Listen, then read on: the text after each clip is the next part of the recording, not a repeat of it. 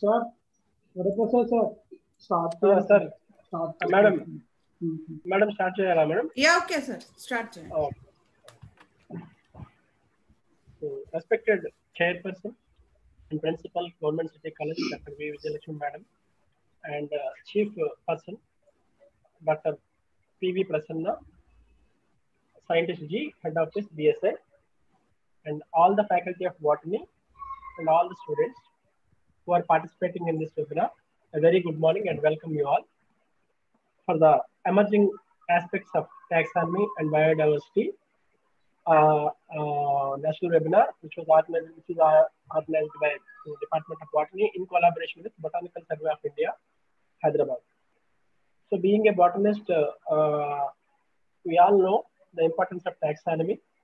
So without taxonomy, you cannot identify a plant. And equally important aspect is biodiversity in order to maintain the ecological balance and ecosystem. So that is the importance of the topic which we, choo- which we, which have chosen. And uh, most of the botanists and faculty will agree that uh, today uh, the present aspect of botany is uh, more towards applied aspects such as uh, molecular biology and biotechnology, all those things, neglecting the classical aspect of the botany, that is taxonomy. So without identifying a plant and without knowing its uh, uh, family and its importance, uh, you cannot pursue any kind of research in area of the botany and all. So I hope uh, this webinar will definitely will give some inputs uh, the emerging aspects of the taxonomy, uh, which is very much important for all the botany faculty and all the students who are interested to pursue botany as a career in their future. So taking this opportunity to uh, thank you all for uh, participation. And uh, I request our principal madam to give the keynote remarks for this national webinar. Madam, over to you, madam.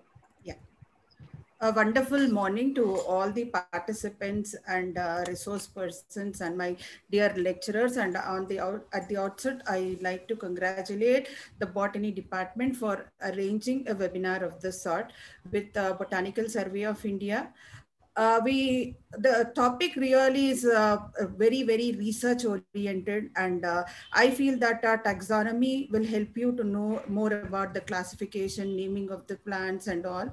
So there are uh, many many millions of plants still which are not identified. They have not been recorded and no surveys have been made.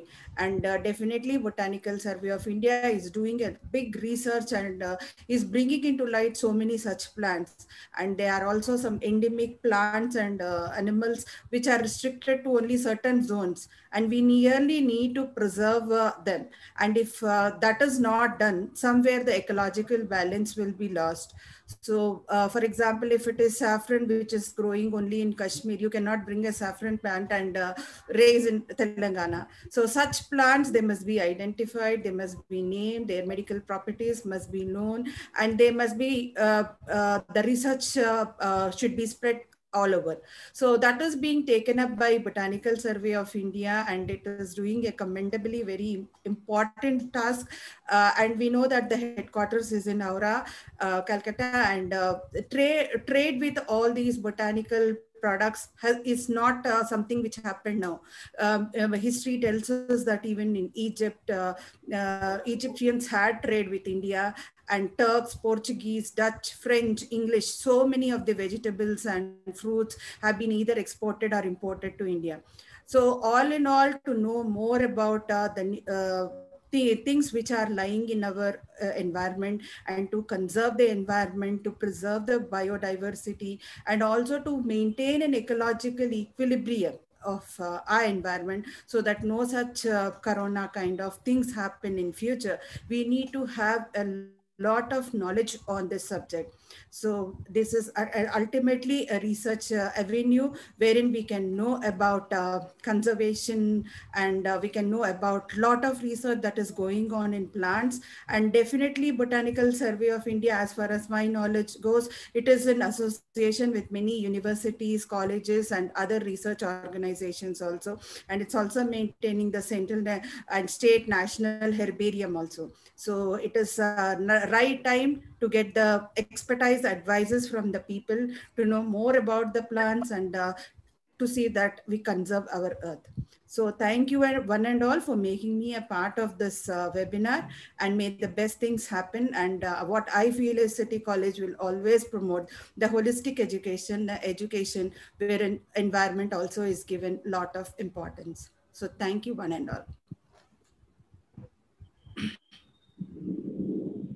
Yeah, oh, sir, uh, yeah, uh, can you in, uh, introduce the resource Yes, person? Yeah. Yes. Thank you very much, madam, uh, for the remark. Uh, now I request uh, Narmada madam, Dr. D. Narmada madam, to introduce our, Thank you, sir. Thank you, our professor, sir. Respected Principal Madam, Dr. V. Vijayalakshmi Garu, keynote speakers, and all the participants, a very good morning to one and all. On behalf of Department of Botany, Government City College, Hyderabad, I extend a warm welcome to Dr. L. Rasingam, sir, keynote speaker of this session of today's webinar on emerging aspects of taxonomy and biodiversity. I feel highly privileged to introduce Dr. Rasingam, sir. Dr. L. Rasingam, sir, holding post of Scientist D, has been working in Botanical Survey of India since 2011 and has a research experience of around 15 years. His main interest is floristic and ecological assessments, NDF, and ethnobotanical studies. He has vast experience of island flora and extensively explored the remote islands of Andaman Nicobar Islands, Southern Western Ghats, Deccan Plateau, and as well as Eastern Ghats too. He has described around 12 species which are new to science and reported many species to flora of India and other phytogeographical regions. Recently, he has completed the MoF and CC funded project entitled NDF studies, NDF studies on Rick Tree in India. He has authored Polluting, research papers in national and international journals. Thank you one and all and I welcome once again Dr. L. Rasingam sir to this session and uh, over to him. Yeah, very good morning to um, principal and uh, head of the department, Botany. I'm audible? Yes, sir. You're audible, yeah, sir. Yes. So thank you very much, madam, for uh, giving this opportunity. First of all, I very much thankful to our director, Dr. Mao, A. Mao, and our head of office, Dr. P.V. Prasanna, and the principal of uh, City Government College and uh, the um, department uh, means uh, uh, head, of, head of the department and all teaching staff and students. Here, sir, can you just stop sharing your? Yeah, yes, yes, sir. Yes, I stopped it. Okay.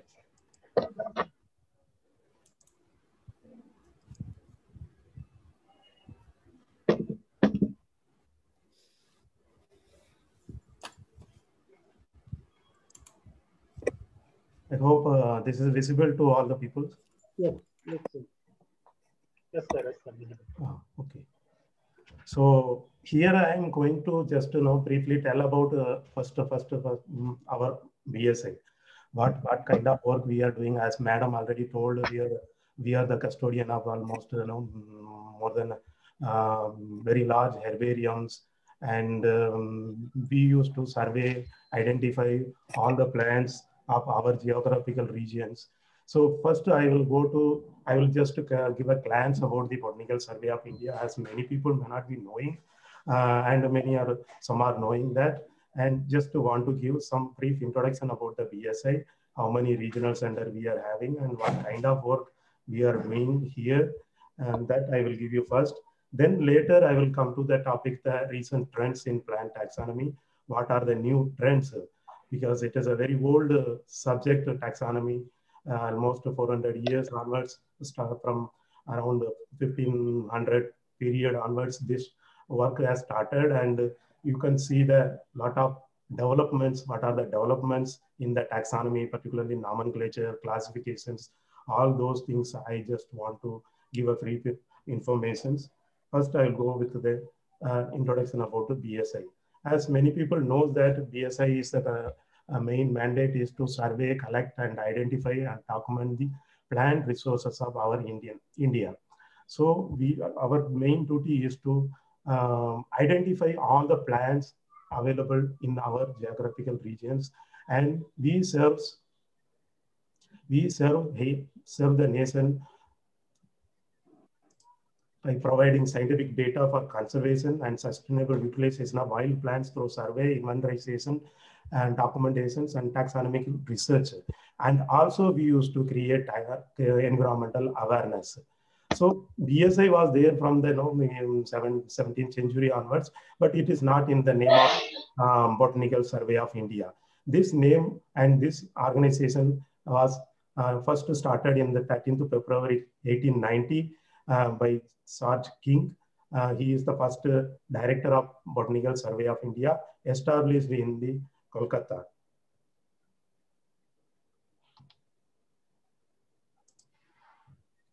So the main objectives of BSI is to undertake to undertake intensive and extensive floristic surveys and collect accurate information on the distribution, ecology, and the economic value of plants in our country. Then next, collect, identify, and distribute plant materials and information for the purpose of other research uh, and as well as uh, knowledge developments. Not only we, our, our, our, our organization is open to all the research institutes. Anybody have interest on plants or anybody want to do some work on the plants, they can come and uh, get the information. Our herbarium is open to all the researchers, students, all the peoples.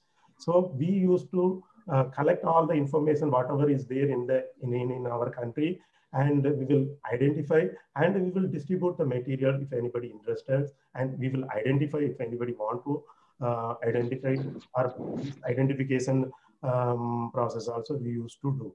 Then we, we used, we serving as a custodian of authentic plant collections in the form of herbaria and to document the some some folk uh, this some flora local and state national flora and we also have some secondary objectives and particularly documenting the ethnobotanical ethnobotanical uh, knowledge ex to conservation of red listed, red listed threatened taxa in botanical gardens. We have each, almost all the regional center have a separate garden for conservation of uh, uh, ex situ conservation of some of the threatened, threatened species. Uh, particularly, we have two big gardens, uh, one, one in, in um, central uh, Howrah, Central National uh, means AJ, AJ Bose uh, Botanical Garden, AJ, um, that is located in the uh, Howrah. Then another one is the Noida Botanical Garden. It is in uh, uh, near Delhi. And that also having almost 200 acre uh, area. We used to conserve all the uh, plants. Then we, apart from that, we also doing some impact assessment, environment, environmental impact assessments. Whenever new any any new projects or anything, dam construction or anything comes, then we used to go there and assess the impact of this dam or whatever constructions, and we used to submit the report to the um, government. Then preparation of pollen and seed, seed atlas of Indian plants, then providing capacity building training program in plant taxonomy and herbarium methodology.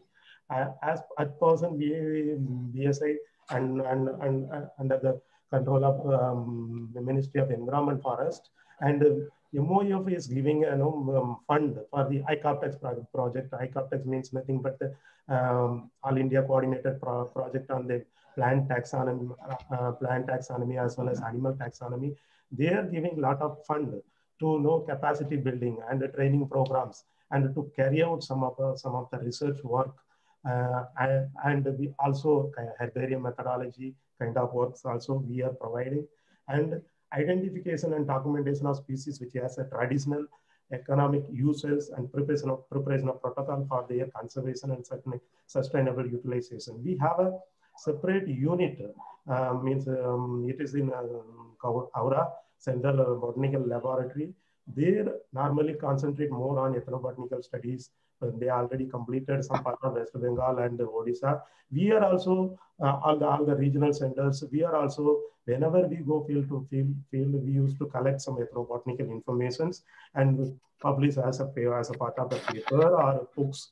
Then this is the history. As I already told, it was there during um, 17th century. It was, uh, is established by Robert Kyd of East India Company as a company Pahan, company Pahan. Uh, and uh, in the Sibpur, means Calcutta, that uh, Hooghly River banks. Then the company wagon was later renamed as Royal Botanical Garden in 1858. Then George King, as I already told, he is the first superintendent and director general for, general for uh, this Botanical Survey of India and established on 13th February 1890. Then after some time, after almost 30, 40 years, the work on the of India is not up to the mark. Then the appointed, appointed um, E.K. Janaki Ammal uh, to revamp the revamp, or revamp or revival of the BSI in 1952. Then based on her recommendations, there are four major regional centers were, were established. Um, the four, um, the, these are the four major regional centers. First one is Southern Regional Centers. It was established in 10th October 1955. It is uh, presently normally called as Madras Herbarium. Uh, it is located in Coimbatore and Western Regional Center uh, is uh, it is in Pune, uh, established on 12th December 1955. Then Eastern Regional Center is in Calcutta. Then, then later it was um, that Northern Regional Center. At present, it was in Allahabad. It was established in 1st August 1956.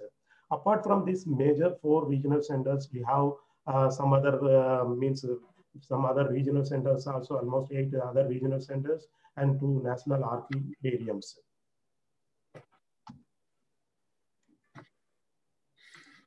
So,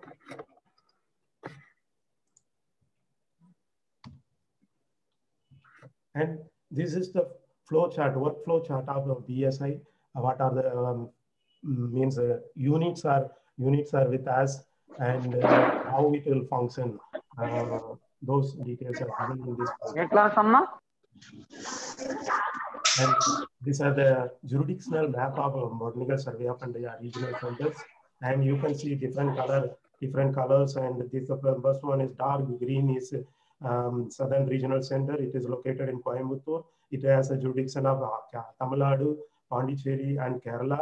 And this is our regional centers. We have a jurisdiction of Andhra Pradesh, Odisha, and Telangana.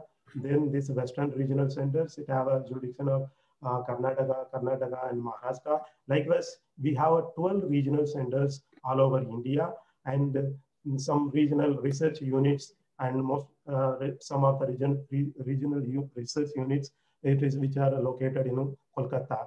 Recently, in 2018, we opened a new regional centers at Solan uh, in the Himachal Pradesh, and uh, its jurisdiction is uh, Jammu Kashmir and Himachal Pradesh. And this is the nucleus of all the taxonomical research in India. The Central National Herbarium, one of the biggest herbaria in the world, it is holding almost 20,000 specimens, sorry, 20 lakh herbarium specimens. And this herbarium is the main attraction for all the taxonomical studies. Whoever want to study in the uh, taxonomical aspect or any other aspect, they used to visit this regional, this Central National Herbarium. It is located inside the Botanical Gardens, Howrah. And not only the herbarium, we have so many other uh, means old, old handwritten books of for British peoples, particularly the Robert, uh, Robert Wight icons, then Roxburgh's Coromandel, uh, Coromandel coastal plans of Coromandel coast, then this um, Wallich catalogs. It is all handwritten catalogs, um, Wallich catalog. It is very old, and uh, we have only two sets.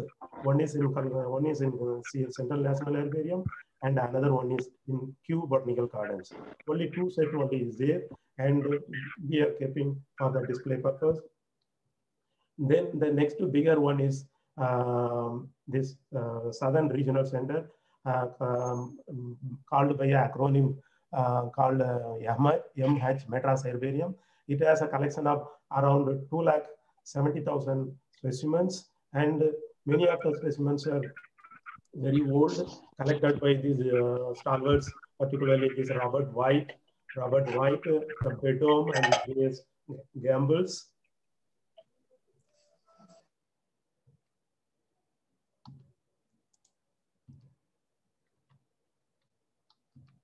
And these are the some of other regional centers, um, regional centers, um, particularly this is uh, um, Pune, Pune regional,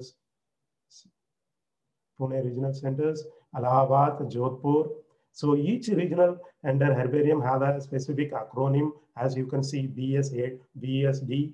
It is an acronym for the Northern Regional Center Dehradun, BSA for the Allahabad regional centers. Then this is um, Arunachal Pradesh, uh, Itanagar, and then Port Blair This is the Port Blair where I worked almost five years, and it has a collection of around 22,000 uh, specimens. Then this is the Deccan Regional Center. Uh, this regional center was established in 2006 to you know, explore the unexplored areas of Andhra Pradesh and Andhra Pradesh and Odisha and Telangana parts. It was established in January 2006. The jurisdiction is already told Andhra Pradesh, Odisha, and Telangana. And we have a, a herbarium holdings of around 20,000 20, specimens. And it is mostly uh, brought from the southern regional centers after the establishment of this regional center. Most of the specimens are brought from the southern regional centers. Then after establishing that, we have taken up some three, four big um, means major projects and we explored this uh, Seshachalam Biosphere resource uh, reserve, and then Nagarjuna Sagar, then Sakra Kurusa Andhra Pradesh, Odisha, Krasas of Odisha. Then now also we are having some project, a major project. Then the herbarium acronym is BSID. And wherever, whenever you quote our specimens, you have to quote this acronym BSID. Then these are, uh, we have specimens of Andhra Pradesh, Kerala, Odisha, Tamil Nadu, and Telangana.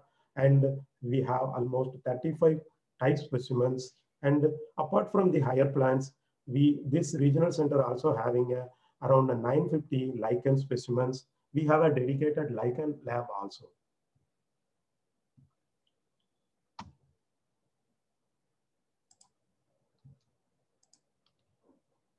Then as this museum, we have around 300 carpological collections and already uh, it is on display and uh, almost uh, 1400 books related to this flora of Telangana, Andhra Pradesh and all over India, floristic, floristic, florist, it is mostly related to the flora, floristic work as well as the ethnobotanical work. And we also are subscribing almost 16 foreign and national journals in connection with the taxonomical research work. Then this botanical um, uh, this um, uh, botanical garden Noida. Uh, it is already discussed. It is around 200 acre botanical gardens, and the conserve it is main purpose is to conserve the threatened species of Indian Indian regions. Then that high altitude regional center, high altitude Western Himalayan regional center, it was established in 2018 at Solan. Then apart from that, some of the regional research units that is Central Botanical Laboratory, uh, CBL at Howrah. Their main activity is to undertake economic economic study, means ethnobotanical studies, then preparation of preparation of uh, studies on the chromosomes, plant physiology, and cytology kind of works. Then we also have a industrial section and the Indian Museum is at Kolkata. It has a vast display our uh, crude drugs, wood samples, food, um, fodder, ties, then this uh, textile designs. And this is, he is the person who established George Watt, who established this industrial section and Indian Museum. And if anybody visit, you can also, anybody visit Kolkata, uh, you can also you know, visit this uh, um, museum. It is for display purpose.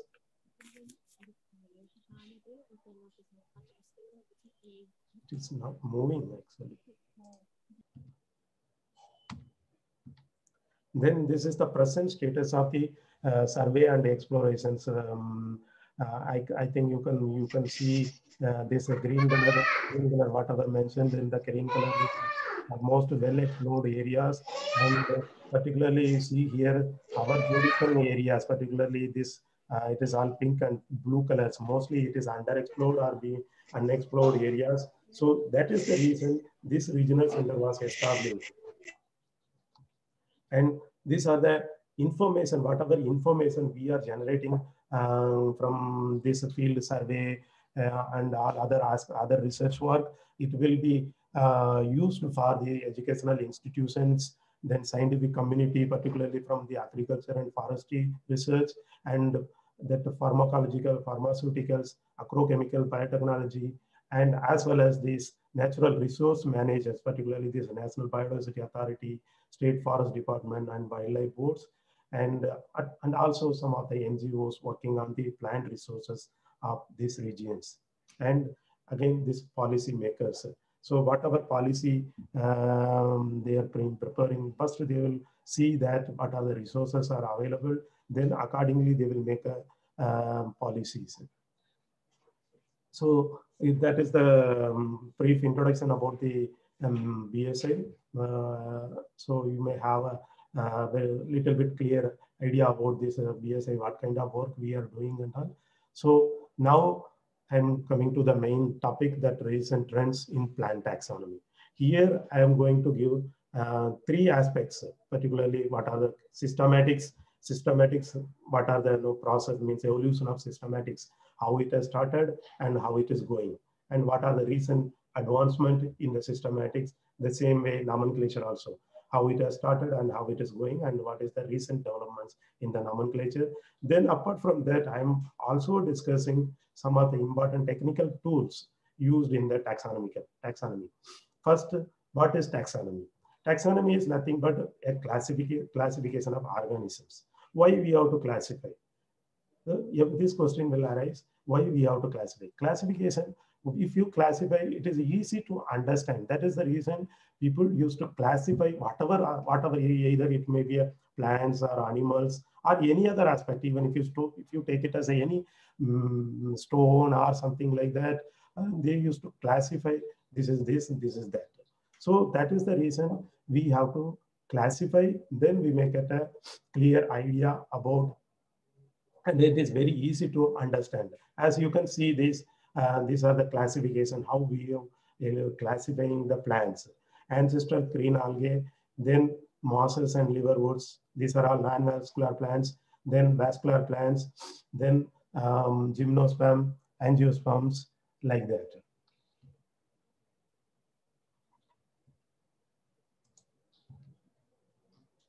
Then the main objectives of the taxonomy is to identify all kinds of plants on the earth with their correct names and distinction, distribution, habit, character, characteristic, and affinities. I think somebody is, uh, is some red color mark. Who, who, is, who is that? Excuse me, sir. sir. Who, Kindly who is that stop sharing, then share again. Somebody no, is writing no. on the screen. Yeah, somebody is writing on the screen. I'm No, no, no need, sir. You, you, st you stay there, sir. kindly stop, Yes, sir, stop sir. sharing and share again. No, no, sir. Sir, sir, sir, you stay here, sir. Stop stay here, sharing sir. and share again. Sir, sir, sir, please. yes. Sir, please. Sir, you, you there only, sir. I will info, I, I will instruct to them, sir. Ah. Please, sir. Dear students, who is that? Stop. please don't do. Please don't stop share. Please stop share. Don't write. Don't write on it. If you write, you will be removed from the webinar. Please remove it. Sir, sir, Rasingam, sir. Yes. Excuse me, sir. Sir. Sir, there- kindly stop, kindly stop it and share again. It will be removed automatically. Uh, sir, sir, there at uh, upper side option is there, no, sir, and the pen option is there, sir. At the Okay. side, Ah. there pen option, you click on that, sir, Ah. and, and then the delete all uh, option is there, sir Recent, the click on that, that that all removed, sir. Complete బంద్ కాదు నిన్న అయ్యింది కదా మరి ఈరోజు ఎందుకు అయితే లేదు So that, uh, I don't know. Yes, yes, is there. Sir, uh, there you uh, delete the option. Uh, the recycle bin symbol is there, sir. In the, the, the, the top, sir. At the top, recycle. Yes, yes, yes, is there. Ah, yes, sir. Okay, sir. Okay, then. Okay. Whether it is Sorry, because of sorry my for the mouse or, sir. or some other people are doing. Some other people, sir. Sorry for the inconvenience. Okay, okay, okay. I thought it is because of my mouse or when I moving. Oh, oh Okay, Oh, no problem. maybe, maybe, sir. Yes. Okay, thank To you. Carry on. this main objective of the taxonomy is to, to identify all kinds of plants on the earth with their names, correct, correct names, distinct, distinction, distribution, habit, characteristic, and affinities. That is called nomenclature. Then next one is to arrange arrange the kinds of plants into a scheme of classification or an order orderly arrangements. This is for a, this is called a systematics. Systematic is nothing but arranging all the items in an appropriate manner. Why we need to arrange that questions? Because when we need some kind of a means, you can take up our herbarium. So you want to you want to see some of the specimen, particularly if it is Asteraceae or some other family. Uh, if it is not arranged properly, it is very difficult to take out from the uh, vast herbariums. So it is so whenever it is it will be you know save the time also. So whenever we need something, it is easy to locate the specimens easy. So that is the reason we have to arrange all the specimens in a uh, according to a, some kind of classifications. Either it may be a uh, APG or Bentham, Bentham and Cook, Hooker classification, whatever it may be, but it should be arranged in a particular systematic classification. That is called systematics. Then next one is documentation and preservation of living and fossil flora in the form of herbariums.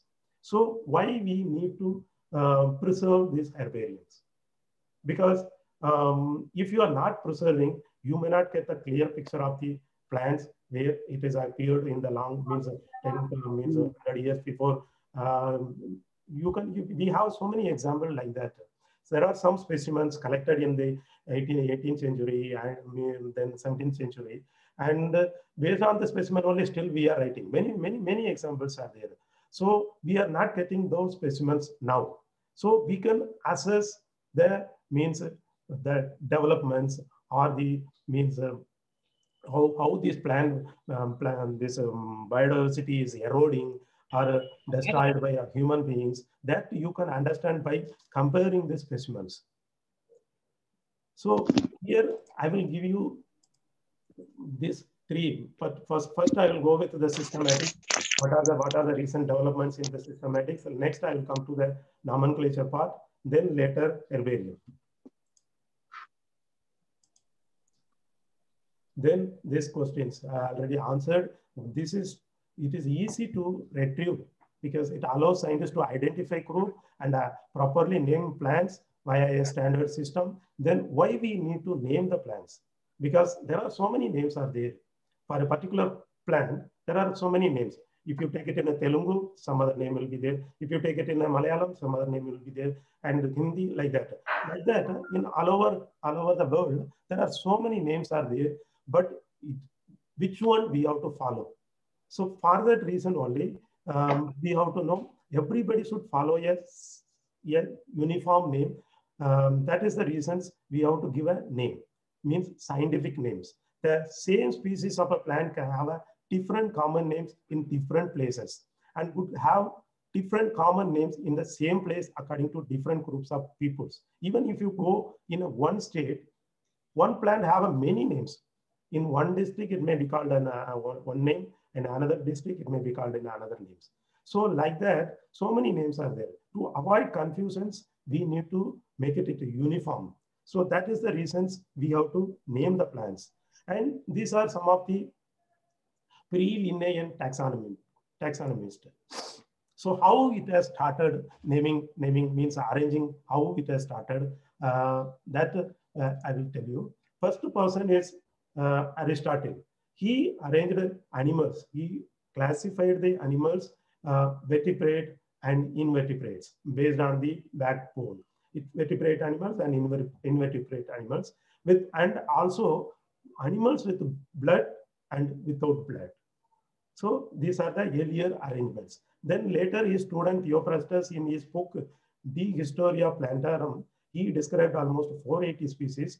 In his book, he classified the plants uh, based on the life form, means the growth form of the plants, either herbs, shrubs, trees, or climbers. Based on the growth form, he classified the plants. Then later in uh, Dioscorides, in his book De Materia Medica, he classified the plants based on the medicinal properties.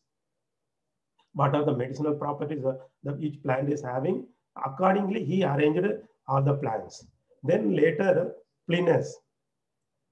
Plinus has, um, in his book Naturalis Historia, used Latin words for naming the plants. First person who used Latin words for naming the plants. He is called as a father of uh, botanical Latin. Then classification of life. As many people, I, uh, botany, I think people who were studying in botany, they may be knowing that how we used to classify the plant, um, plants. First kingdom, phylum, class, order, family, genus, species, like that. There are three types of classifications are there. Means these are I have taken in a broad way. And first one is artificial classifications, then natural classification, then phylogenetic classifications. These three types of classification is there. The first one is artificial classifications. Artificial, artificial classification was introduced by Carl Linnaeus. It is based on a one characters. Um, he is a Swedish botanist uh, and he introduced that hierarchical system of classification as I told phylum, kingdom, phylum, class, order, um, family, that hierarchy and all he only developed. And the polynomial, polynomial nomenclature. Each plant have a two names, genus, name and the specific generic, generic name and specific epithet. That uh, concept developed by um, Linnaeus. Then in his book, Species Systema Naturae and Species Plantarum, he extensively used this system, means naming a plant by using two names. Then he used to call, people used to call him as father of taxonomy. This artificial uh, system of classifications, he used the sexual system, particularly the stamens, how it is attached. You can see that here the first one is that uh, single single stamen, and then then um, then this is uh, two stamens um, like that. monandria, monandria, diandria, triandria, tetrandria, like that. Based on the number of stamens, he classified all the plants. And he framed the rules for generic names, descriptions, and the terminology, corolla, stamens, flamen, and anther, all are coined by Linnaeus. And he also even given a uh, instruction how to build a proper cupboards. Then the next uh, system of classification is natural uh, system of classifications. It was developed by Buffon, Michel Adanson, Jussieu, Lamarck, developed this system of classification. It is mostly based on large number of character, not only one character. Whatever character is available for the uh, differenti differentiation of species or genera, they have taken it as uh, account.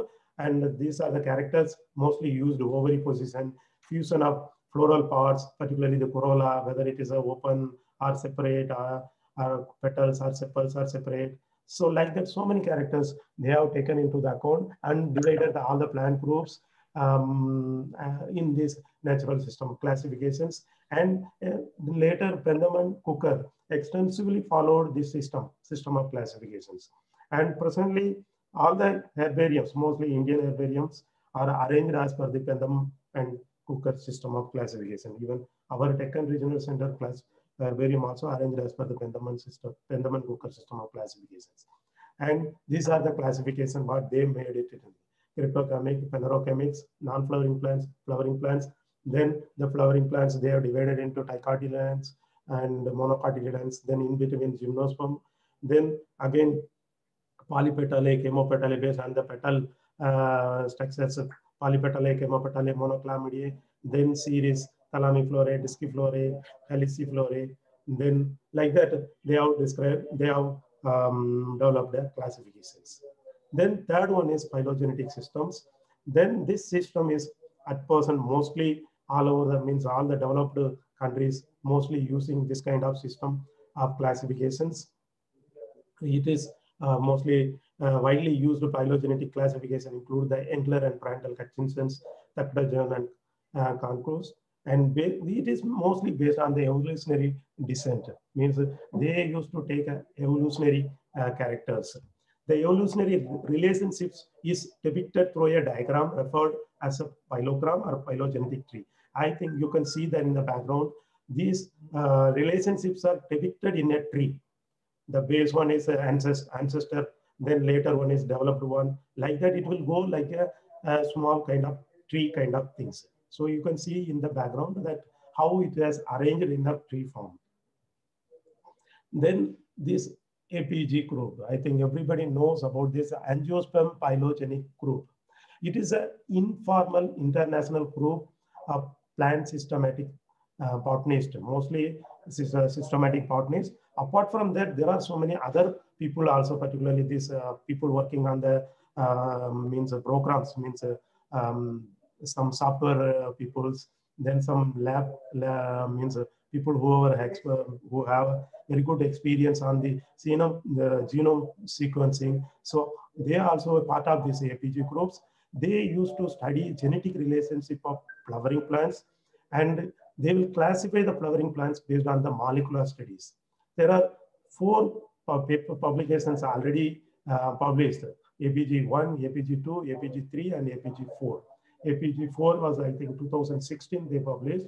And it is the author, if you, if you see in that paper, you can see authors from all over the world, they joined together, almost 30, 40 authors, they joined together and they pooled all the information, whatever phylogenetic studies carried out in different regional means uh, research labs, they pool all the informations and develop a tree.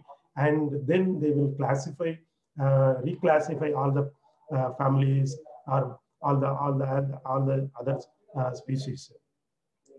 The system is rather controversial in its decisions at the family level, splitting number of long established families and submerging some of the old long established um, families also. There are some problem also is there because earlier this uh, Piperaceae, all uh, as per the Penniman Hooker system, all they kept in the uh, means Monochlamydeae. Um, but now as per the phylogenetic studies, uh, it is all coming as you know after the, this Annonaceae uh, means they brought into the polypetale sections. Like that, and now there is no dicot sections only monocot is separate. Then dicots, there is no separate dicots. So all are divided into, you know, they're splitting many, many families and doing, you know, putting in some other uh, clade or something. It is all based on the phylogenetic studies, but there are a lot of criticism also is there.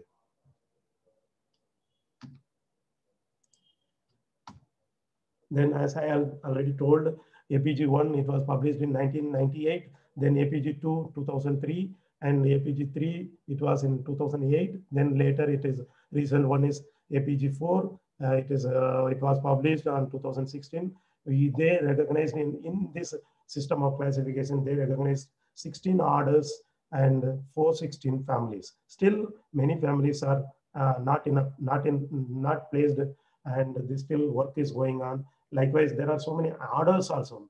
Uh, they are not unable to kept means still a lot of work has to be done. So once everything is over, then they will means uh, arrange it in a, or keep it in a, uh, these classifications. Then this is the diagrammatic uh, representation of the classifications of these phylogenetic groups. As you can see, monocot is separate, but there is no dicots is here. So these are all divided, all the dicots are divided, are classified uh, as early angiosperms, early angiosperms, ambore, Amborellales, Nymphaeales, Austrobaileyales, and Chloranthales. Then in between monocots are coming. Then eudicots again divided into early diverging eudicots, superior rosids, and super astrids. As per the earlier classifications and all, Poaceae used to, normally people used to consider Poaceae as a most advanced family, but as per the recent phylogenetic classifications, this Astra- Astrid, Astrid, Asteraceae family is considered as the most advanced uh, plant groups.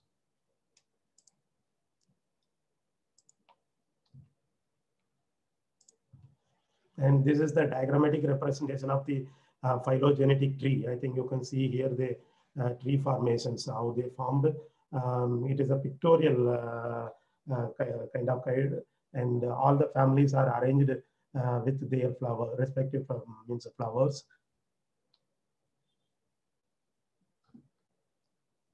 Then nomenclatures. A Nomenclature is nothing but a naming a plants. Choosing a names for the things, especially in the science or other disciplines. Not only plants, naming is there. So many other aspects also. There are some uh, this naming practices is there. If you take it as a even uh, chemistry also, there are uh, naming things are there. Then physics uh, are so many. Even if you take any metals or something, there are so many uh, procedure is to is there to name. So nomenclature is a Latin word. It is nomen means name. Clatura is calling, calling by name. That is called nomenclature. And as I already told, botanical nomenclature is called as ICN. Then zoological nomenclature uh, is called ICZN. Likewise, there are so many nomenclature codes are there. Then botanical nomenclature is naming plants and related rules. Just uh, not, there are, whenever we do naming, there we have to follow some rules.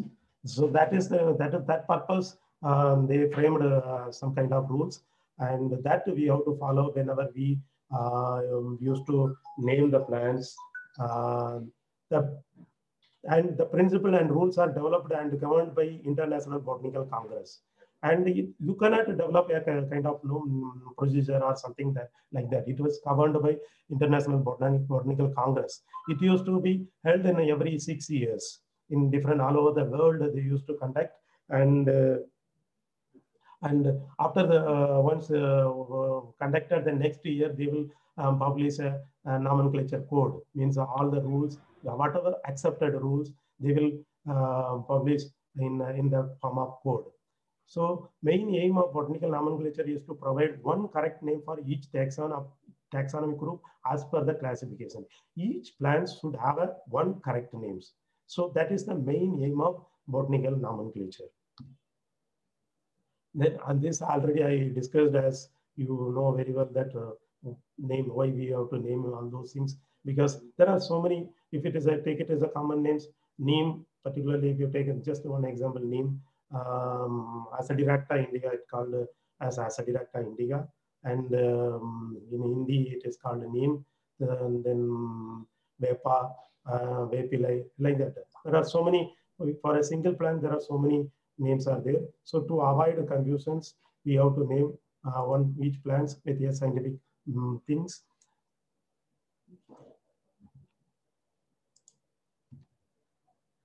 Then here the evolutionary trend, evolution of the botanical nomenclature, how it has started and how it is going now.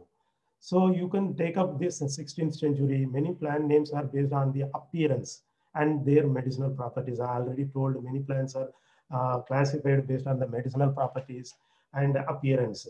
Then you can see just one giving one examples, the plant name um, and mostly they are uh, no polynomial. For example, the, the normal tomato they called as a Solanum, Kali, Indermi, Herbaceae because they are describing uh, the entire plant means how it will look and how the leaves looks all. So that is called polynomial names.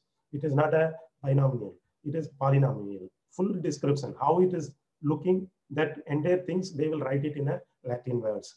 So this you can see the pinnati, senescence means leaves are pinnately uh, divided. That is the things. So which means solanum is with a smooth stem with herbaceous and has an incised pinnate leaves. So that is the meaning of what they have given in the earlier line. Solanum, Kali, Inermi, Herbaceae, Foliaceo, Pinnatis, Sinensis. So it is not required at persons.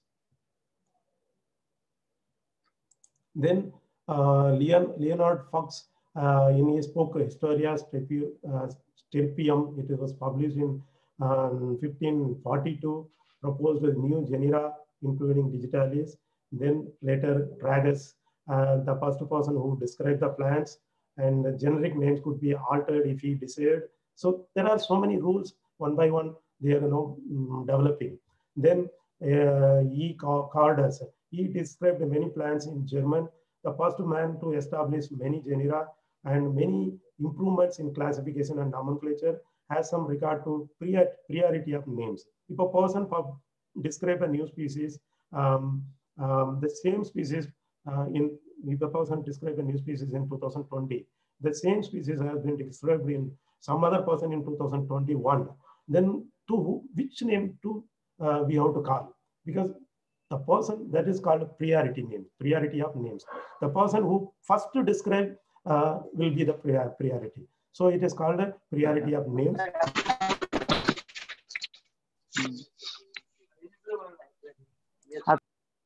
Then Caspar Bauhin, um, in his, he is a Swedish, Swiss, botanist, introduced the concept under which the names of species consist of two parts. The first word is genus and the second word is specific epithet. This is the book, uh, means a copy of his book. You can see uh, the names are given in uh, two names, means generic and as well as a specific epithet. Tithymalus, maritimus, like that. There.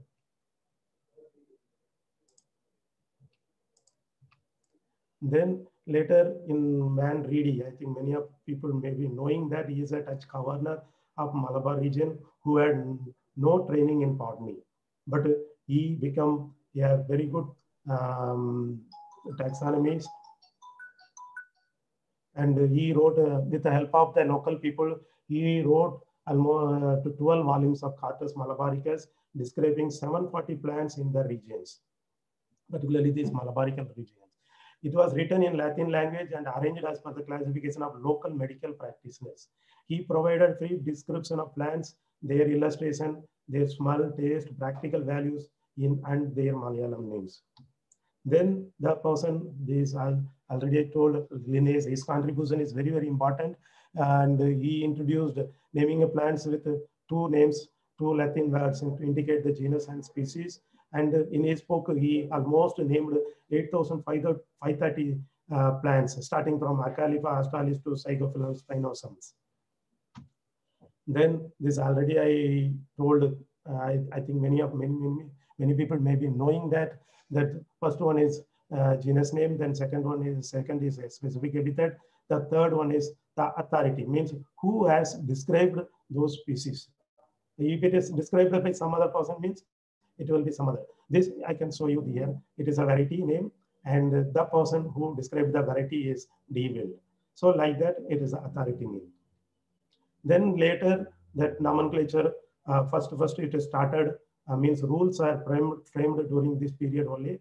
Augustine Pyramus de Candolle in his book Theory Elementary de La Botanico in 1813 introduced the new classification system, um, the word taxonomy and his Alphonse de Candolle, he developed uh, rules uh, for this in uh, Paris um, Botanical Congress. It was held in 1867. So International Botanical Congress is have a member of all over the world. It used to held in every six years, has the power to alter the rules and principles. Normally people used to, if anybody want to alter anything, rules or anything, so we have to send a proposal to this IBC. So during the period of during the period of Congress, uh, Indian means International Botanical Congress, they used to um, see all the all the proposals and all the proposals uh, you know, by voting, and they will select that um, uh, method to alter the rules or principle, anything if you want to do, uh, it will be uh, by voting process. Then the first Botanical Congress was held in 16th August 1867 in Paris. Alphonse de Candolle prepared the rules for the botanical nomenclature. It is a 60-page book and it has a first 11 pages of introductions, 19 pages of laws, then 28 pages of commentary. Then 1753 was made as a starting point for the plant nomenclature. 1753 was the where, where that Linnaeus book was published, the species plantarum. So that is the starting point for the all the nomenclatures. So rule of priority was made fundamental. Then um, during this code, Rock, Rochester code, it was in America, modifications, there are some modification, um, they modified some of the Paris code. Species designated should be based on the herbarium specimens um, for the binomial. Application of rule of priority, even if the name was a tautonyms, then there are some problem with that uh, code. Particularly these American peoples are not accepted this code um, because they have some problem with uh, tautonyms as well as the um, conservation of conservation of ge generic names. Then in Paris, again, that code, uh, first international, international Botanical Congress, it was held in 19, 1900, agreed that a special session on nomenclature to be held at the second IBC in Vienna in 1905, uh, and the code was published in 1906. There was some drawback in that Congress declined to accept a detailed proposal of the US delegation led by N.L. Britton involving the introduction of type method. And due to these problems, they, whatever they proposed, the American people proposed some of the proposal that was not accepted um, by the uh, Congress. So what they did is they formed their own code, American code. Uh, it was in 1907. They made a separate code that is called a Britain, Brittonian code. That is called uh, also called as an American code. Then later in Vienna, it was held in 1905. Uh, Linnaeus, as I already told, it is a starting point. Tautonyms are not accepted.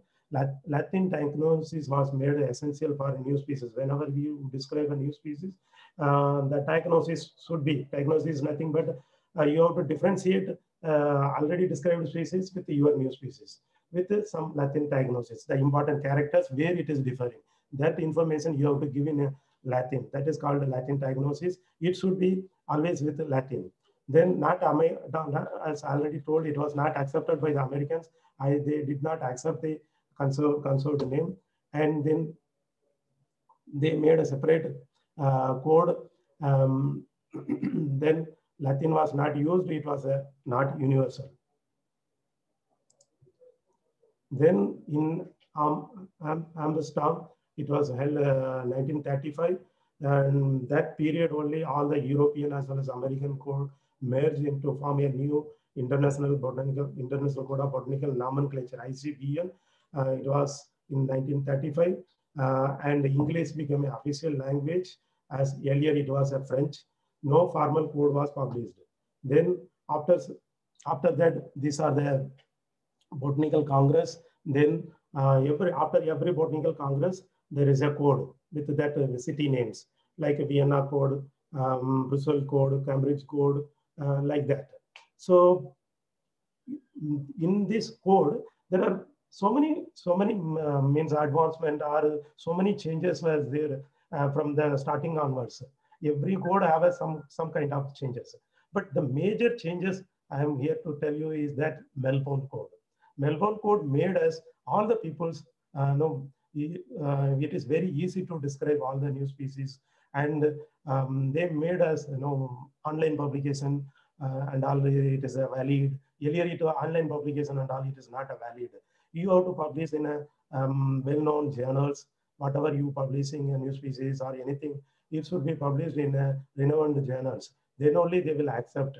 But now after the melbourne code in 2012 there are so many changes have been happened and these are some of the changes I'm here finding out. Main, here there are main main changes. ICBN become ICN because internet earlier it was called as International Code of Botanical Nomenclatures, and now it has to be changed as International Code of Nomenclature for algae, fungi, and plants. Because there are fungi, some, some people are not treating algae, fungi as a plants.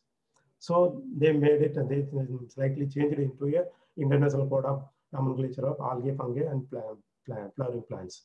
Then acceptance of electronic publication. Electronic publications are not earlier, earlier it was not accepted. Now, if anybody want to, if anyone, one, one person want to describe any new species, he has he, he has to publish in a accepted or reputed channels with uh, some kind of ISBN or ISBN. Now it is not mandatory. You can publish your paper in online also, but you should have that online journal should have a ISSN number or ISBN number. Then the second important uh, change is English as an alternative to Latin for the description or diagnosis of new taxa. Earlier, if anybody want to describe any new species or anything, they have to find out a person who knows Latin because they have to give a, uh, as per the code, you have to know, give a diagnosis. How your species is differ from the already described species. So you have to give what way your species is differ from other species in Latin. Then if you have, you find some plants, it is differing from all other plants, then you have to make it in English, how it is differing. Then the same English uh, diagnosis has to be sent to some person who knows Latin, then he will translate into Latin, then it will take a lot of time. Then many people know we may lost interest. But to break that problem, so now they made English as a um, alternative. You, you can mm, directly give a diagnosis in English. It is an acceptable, acceptable format. Then one fungus, one name.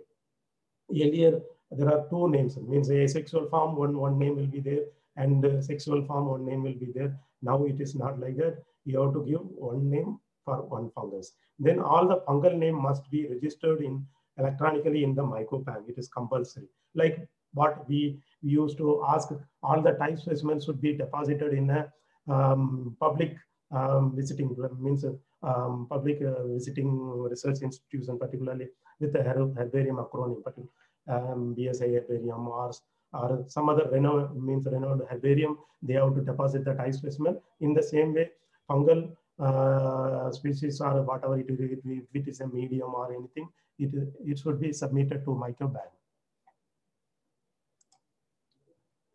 Then I here I will give you some, some of the examples how it has changed the, after the, the, the Melbourne code has changed. As you can see here, the first one is Alphonsia havillandii. Uh, it was described by Hessler and before 2012. So you have to give all the means the diagnosis in Latin. You can see, you can read. I think many people may not be uh, knowing uh, are very difficult to read. Arbor, circa 9 meter alta, Ramuli, uh, Uniorius, glabrescens. It is very difficult to understand also. But now after 2012, uh, you can see here, it is all in made in English. Tripogon, this is a species we described from um, Hills and uh, we made a uh, diagnosis in English. Tripogon tirumalae is similar to Tripogon sivarajini and Tripogon tripedus, but differs from other having. So it is very easy to understand for common people also. Otherwise, we need to know, we have to know, we have a working knowledge on Latin. Otherwise, it is very difficult to understand. So this they made very easy for the recent generations. Then now we'll go and see the, what are the recent trends, uh, means there are developments in the herbariums. Herbarium is nothing but a collection of plants which have dried, pressed, mounted on herbarium seeds and identified and classified according to some approved system of classifications. The first person who started this uh, process in uh, 15. వాళ్ళకు కొంచెం ఒక వారం పది రోజు ఎక్కడ వరండాలో కానీ రూమ్లలో కానీ వాళ్ళను కలవకుండా చేసి క్లాస్ రూమ్లకు పంపించి ఏర్పడి చేయాలి So earlier people used to make a herbarium in a um, separate separate paper, then they will find, bind it in a format. So it is very difficult to do, take out the specimens whenever we need some kind of specimen or we want to study some specimen. It is very difficult to take out and uh, you know, and then when you take out one specimen, you have to disturb all the other specimen also. So automatically it will get affected. So this system is uh, discouraged, means making all the specimen and making in a bundle or book form, uh, it will create a lot of problem, means uh, it will damage the specimen also. So later Linnaeus has uh, contributed for the, how to make the herbarium and one seed, to one specimen. Each seed should be uh, means uh, one, one specimen should be mounted on the herbarium seed and should not bind as a book. It will create inconvenience to um, whenever we, very difficult to take out first one, then every time we have to disturb other specimen also. So that is the reasons one should not be made in, um, into book arrange, and arranged as per the classification for easy retrieval because um, very easy retrieval means if it is arranged as per the classification, it is easy to go directly to the Almirah and take out the specimens. If it is not arranged as per the classification or something, it will be very difficult to take out and it will take a lot of time. Uh, so that is the reason we have to, whatever is there, you have a small, uh, some of 100 specimen or something like that, make it in a proper format or make it in an arrangement um, proper uh, as per some of the classification. Very easy to identify. Then some information about the herbaria. It is mostly herbarias are mostly associated with university, colleges, botanical gardens, museum, and research institutions. And there are approximately 3,400 herbaria in the world containing around 361 million specimens. This is as per the Index Herbariorum data. And Index Herbariorum is the global directory of public herbaria and assigns acronym for each herbarium. So acronym is very, very important. So whenever you uh, describe a new species or what, uh, while revising some uh, genus or species or some means uh, some family, uh, you have to quote the acronym instead of quoting the entire uh, means office name or something. Um, you have to quote the acronyms. So only it, it may it contains some two three letters. Exa example, you can take it as our circle acronym is BSID. So like that, each herbarium have a separate acronyms. Index herbarium is maintained, maintained by the New York Botanical Gardens and all the people can uh, access this. So you can get some of the information, particularly if you take it as our herbarium, you can simply type BSID in this link, what I have given in this link. You may get the full details uh, of uh, herbarium uh, collectors who, who contributed for these uh, herbariums. All the details you will, you will get in this link. Then this is the distribution of herbaria uh, throughout the world. As uh, you can see, most of the herbarias are on developed countries only. Um, developing countries or undeveloped countries have very less herbaria. Again, maintaining herbaria is not an easy, easy uh, task. Very, very, very difficult. And uh, you know, a lot of manpower also required and financial implication also. So very, very difficult. So that's why you can see the, the countries who have very rich, they have more herbarias. And most of the herbarium, whatever is collected from other uh, developing or underdeveloped countries, it is going to, during before earlier times, it has to go to uh, either Paris or Kew or all the European countries only. So you can see all the means uh, Indian collections or Sri Lankan, whatever uh, collections, uh, one set will be, definitely it will be there uh, in the European herbariums. This is number based on the number of specimens, number of herbaria of the world by regions. So you can see this is a Europe. Europe have more number of herbaria. So you can see Asia is very uh, limited. Then you can see Africa also very limited number of herbaria. And these are the uh, dominant means um, based on the herbarium specimens. Um, the first one uh, so Paris is the largest herbaria. It is having almost one crore herbarium specimens throughout the world. It has a collection of throughout the world. Then, uh, um, then New York Botanical Garden. Uh, then uh, Central National Herbaria. I already told it was established in 1795. Acronym is CAL, and it has a 20 lakh herbarium seeds. the same way, Royal Botanical Garden also, it uh, herbarium is called QK, and it has a 17 lakh herbarium specimens and digitization. This is the recent developments in the herbarium sections. Earlier, normally people used to know study some specimen or uh, want to revise any genus or family. They have to you know, ask it by you know uh, means uh, um, they will write a letter to the concerned herbarium curator, and then they will send the specimens. Again, we have to study. Again, we have to send back. There are a lot of procedure was there. Now it is very easy, and you know, for uh, normally you can see uh, with these technologies, all the specimen you make it in the just at a single click. So these are the procedure how to make a digitizations. And here you can see first one is uh, check the nomenclature with the Plant List, correct name or not. Then um, there are annotate. If, if, if any correction is needed, then we have to annotate. Then we have to do this imaging. Then imaging, then upload the image. Then we have to make a database, whatever the label, whatever the information is there in the label, we have to generate a label and both we have to link and then we have to upload in the This is the some of the instrument used for the digitizations. Then these are the, some of the databases used for this uh, purpose, BRAHMS and database software, Biotic, BioLink, Biota, then Tropicos, the Plant List, IPNI, then Species 2000, then Plan Online. Like that, so many recent, there are so many databases are there. Anybody want to see something, some plans or correct identity of some plans, you can simply check, check it and you may get some of the specimen also. And this uh, we actually, it was uh, developed by our uh, uh Central National Herbarium.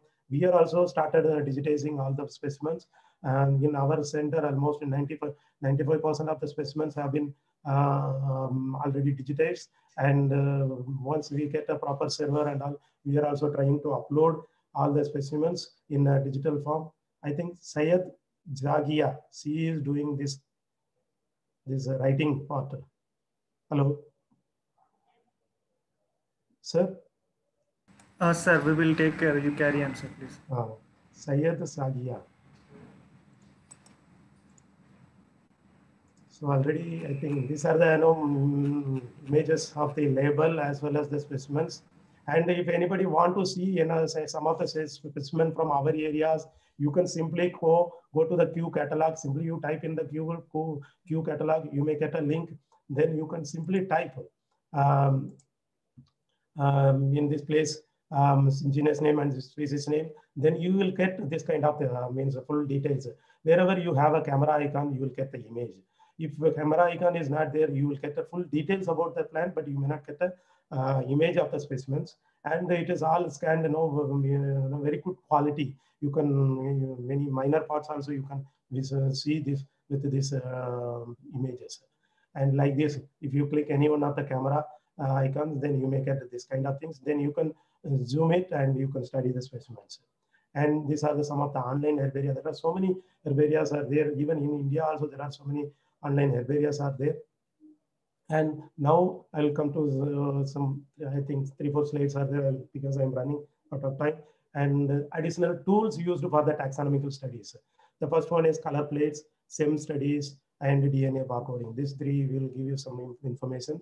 And the first one is uh, color plates. Earlier, all the plants have been drawn by this, you know, black Indian ink. And uh, you, whenever they describe a new species or something, um, they used to draw all the floral parts and the entire plants uh, in this format. Uh, this is uh, line drawings. Then uh, in the olden days, um, they with the use of uh, natural dyes, they used to draw. You can see some of the you know, Roxburgh's, Roxburgh's these plants of Coromandel, then Robert Wight, uh, Wight icons. you can see this kind of diagrams with, you know, um, by using the natural dyes, they nicely, you know, depict all the flower pots, fruit, everything. Then recent days, these color plates have become very important uh, um, point, points whenever people are describing or anything. They're normally for dried specimens, particularly poaceae and all, no need to carry any camera or scanner. They can simply sit with a microscope and make it a dissect and take a photographs. But nowadays, some people are going back to the scanner. There are some handheld uh, small scanner are there. They are taking into the field and field itself, whenever they collect, they will dissect and uh, make it, you know, scan it all the each and every parts. And it will give a very clear pictures. You can see hairs, how it is looking, because when you do it in a fresh condition, you can see colors, patterns, whatever, whatever uh, means some patterns. Sometimes you may get uh, some color patterns will be there um, nerves patterns, everything you can clearly observe in this kind of plates. So now this um, this kind of plates have been uh, many of many of the taxonomists started preparing this kind of uh, plates and used for the publications.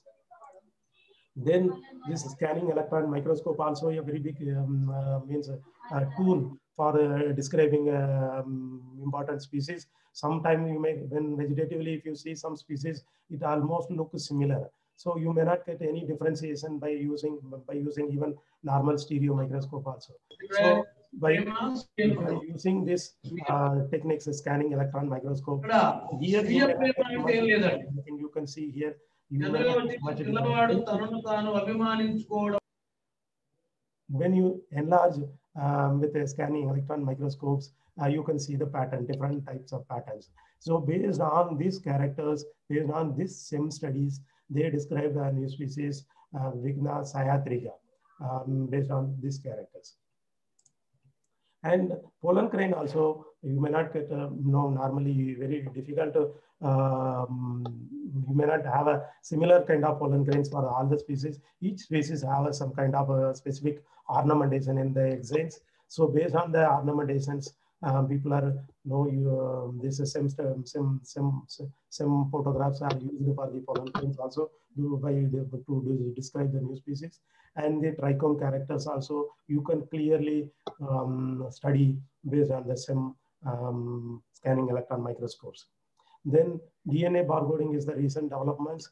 It was first used in um, Paul Hebert in 2003, biological identification through DNA barcodes. You have short section of DNA used for the um, this um, barcode and uh, animals normally they use COI gene region and plants they use MATK, RBCL and some other so some other mutual గా ఉంటే guide చేస్తారు మాకు departments కి ఇవ్వండి for the recent leguminaceae leguminaceae based on the DNA barcoding earlier um, papillinaceae means uh, leguminaceae was divided into three subfamilies uh, particularly this uh, papillinoideae cisalpinidae and mimosidae now it has been divided into almost six seven subfamilies here you can see Sericaceae, all the Boginias, all uh, they kept in Sericaceae, then data, data Tetraideae, uh, Tubercularideae, Dialiideae, and like that based on the recent uh, molecular study, they divided further uh, into these uh, groups. Then this is the uh, uh, pictorial uh, means diagrammatic representation of the Asparagaceae family and as well as the image photo images and mm, the uses applications of DNA barcoding. Application means mainly this taxonomical identity. Whenever we have a similar kind of means uh, morphologically, many plants are very similar and very difficult to identify with the help of uh, even stereo microscopes.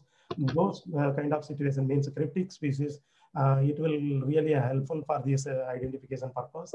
Then identification of harmful animals, harm, harmful organisms, wild crime forensics, forensic science also uh, this uh, DNA barcoding is applied because a simple sample is sufficient from the crime scene or uh, that will be used for um, means to identify the crimes. Then identification of adulteration in seeds and medicines. There are, I think I can give some, some simple examples. Um, this um, pepper, pepper is adulterated with papaya seeds. So very difficult to inhale. If you see by a naked eye, or even if in a microscope also very difficult to identify based on the seed, seed structure because it is almost look similar. Uh, so many people use that. How to identify? Because both genome is different. You can take a, a pepper genome and this papaya genome, um, then it will be differ. Then easily you can identify the adulteration in seeds. The same way medicines. There are so many um, I mean, medicinal preparations. They are using alternatives. They are not using the original plant material, then they are using some alternatives that also can be identified by through the DNA barcoding. Then identification of fake animal skin, because tiger DNA is different and uh, other other people are now we can you can see I think last last year also there was a news in the West of Bengal people you know paint in the buffalo or some some other skin like a tiger and they will sell sell it as a tiger skin. So these kind of things also you can easily identify with this aspect, this, uh, this advanced tools. Thank you. Thank you very much. Thank you, sir. Thank you for your valuable talk, sir. Now elaborate, you have given introduction you introduced the BSI Botanical Survey of India and their overview and objectives and historical aspects of BSI here, and also uh, recent aspects, recent trends in taxonomy and herbaria. We have given, I think, a more elaborate uh. And most of the most of the students most of them are uh, faculty, sir. Here is stated. The I think the all are highly uh, learn some new from you, sir. We are very happy to share with you, sir.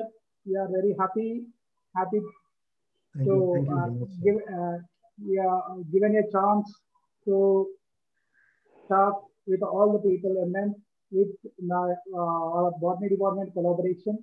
Thank you. Thank you very much, sir. I, I, all the participants, if any doubts, you uh, put on the chat box. We will discuss later. Uh, we, we are the short, short span of time. So then, thank you, thank you very much, sir. Thank you, Rasingam, sir. Thank you. for, you uh, immediately, immediately accepted uh, I our, department, time. our department invitation with the city college. Thank you. Yesterday also you have given very cooperation, sir, from BSI to our students. No, we are always open. Anyone can come and go. Yesterday also uh, we are very, we felt very happy. Our principal madam also very felt happy. Yes. Uh, uh, given the first uh, prize, uh, uh, our student, Irfan, student got the first prize in the wetland program. Yes. Thank you, thank you very much, sir. Thank you. And uh, next, uh, uh, Sudharani ma'am, please uh, introduce the second speaker, ma'am. Thank you, sir. Thank you. So good, good morning, one and all. On behalf of Government City College and Department of Botany, I feel privileged for getting this opportunity to introduce today's speaker, Dr. J. Swamy sir. Sir obtained PhD in botany in plant taxonomy from Osmania University. Sir has been working in BSI since 2013. Sir has 11 years experience in plant taxonomy, biodiversity, conservation assessment, sacred groves and ecology. Sir has completed nine projects and published five books and 62 research papers in reputed journals, including 10 new species discovery to science. Sir has presented more than 30 papers in national and international conferences, workshops, seminars, and also received two awards for his best presentation. Sir is the life member of the Indian Association for Plant Taxonomy and Indian Botanical Society. Sir has been educating scholars, teachers from various universities, scientists of ICAR, forest officers of Telangana, and green skill development. Students by giving lectures and hands-on training on plant taxonomy and ecology. Presently, Sir is working on Grasses of India for Flora of India project and Flora of Protected Areas of Kinnerasani Wild Wildlife Sanctuary of Telangana. So uh, now I request Swamy Sir to deliver his talk on endemism with special reference to Telangana. Thank you, sir. Over to Swamy Sir. Thank you, Dr. Sudha Madam, for a brief introduction about me. Uh, first of all, I would like to thank our director, Dr. E.V. Mova sir, and our uh, head, Dr. P.V. Prasanna sir, for giving this opportunity to present here. And also, I would like to thank Dr. Uh, Principal J. Vijayalakshmi ma'am and Varaprasad sir, head of the department, and Dr. Nagaraj sir, organizing secretary, for this giving opportunity to present uh, my short topic on this uh, endemism with special reference to in Telangana.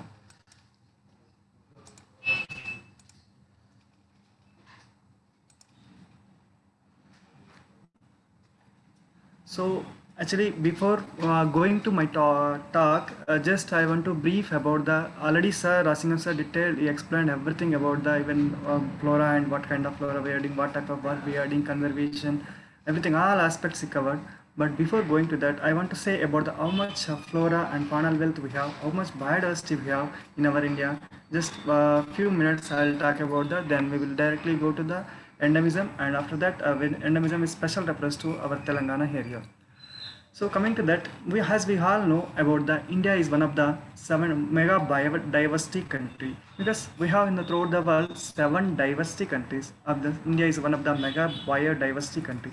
We have four hotspots out of 36 four hotspots sharing with different countries that is coming to the east Himalaya part, Western Ghat and Sri Lanka and Sundaland and Indo-Burma region. These four biodiversity hotspots we have. So art, hotspots, this concept is uh, developed in 1980s so by Norman Myers. The, what is the meaning of uh, this hotspot actually? Hotspots are mostly terrestrial endangered ecosystem.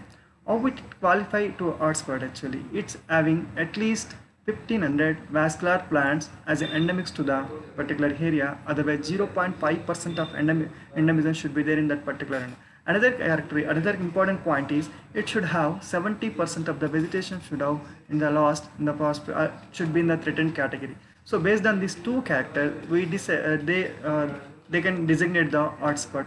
So so that in here in India we have four hotspots sharing with the different countries in one is in eastern Himalayas and another is Indo-Burma region, this part, and here in Andaman Nicobar Islands, Royal part, and another Western Ghats and Sri Lanka.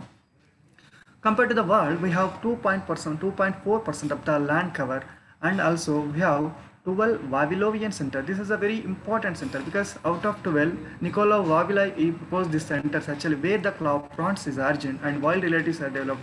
So like this, more than 300 wild relatives we have in our India. So because like for example red gram we have normally what we are consuming red gram. So so same type of kind of species that so very closely related species in the wild we also will getting in our region also especially.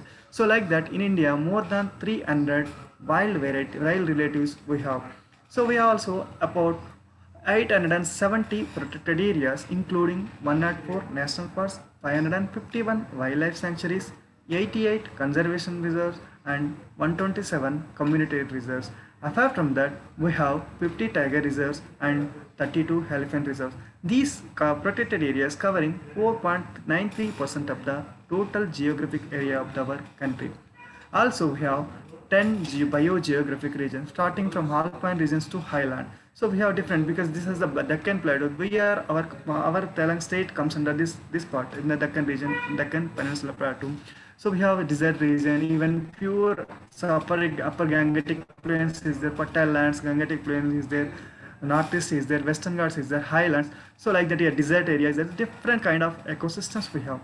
So these different kind of ecosystems from alpine range to highlands, desert region, even plateaus, everything, these yields in our India is about 8.8% of the 7 to 8% of the global biodiversity we have in our India. So according to that recent estimation in 2020, we have 50,012 plant species available in our India according to 2020. So in, in case of faunal also more than 1 lakh species of faunal species available in our India. So coming to the flora. Coming to the flora, as per that recent estimation in 2020, we have 50,012 plant species we have of which 18,800 species of angiosperms, 82 species of gymnosperms, these are the very least number, and 1,307 species of pteridophytes, 2,786 species of bryophytes, and 15,447 species of fungi, 7,437 34 species of algae, and 2,917 species of lichens, and 12, no, 1,239 species of microbes we are having in India. These this diversity having 11.4 percent of the total record plant resources in the world. In the world. So this is according to the 2020.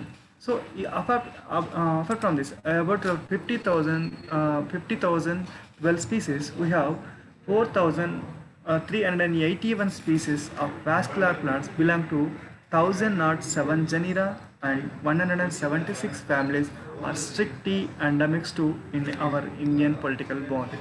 So that those are the strict endemics to our Indian political boundary. So it may not grow any other areas except this particular area, this 4,381 taxa.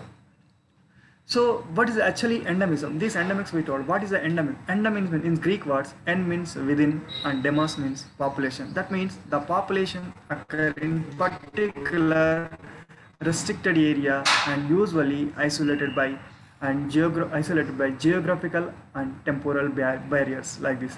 So in case of in the endemic is used in a broad sense, which involves definition of the occurrence of the particular species in large continental area, the concept of endemism loses its meaning as well as as well all plant and animal species in one sense are endemic to the world. So for example, we can take here. So this is a, everyone knows about this Tridax procumbens. This Tridax procumbens, you can see the distribution all over the globe, across the globe. You can see each and every area we will get this Tridax procumbens. This all dots indicating the distribution of the Tridax procumbens distribution.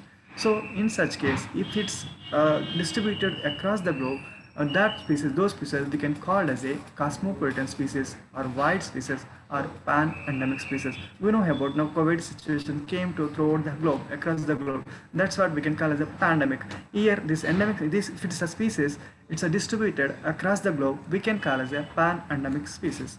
So pan-endemic species. According to uh, A.P. de so use the concept, he used the concept of endemic area, which is defined as a any taxonomical unit, especially species, which has restricted distribution habitat isolated from its surrounding region through geographical or ecological or temporal barriers.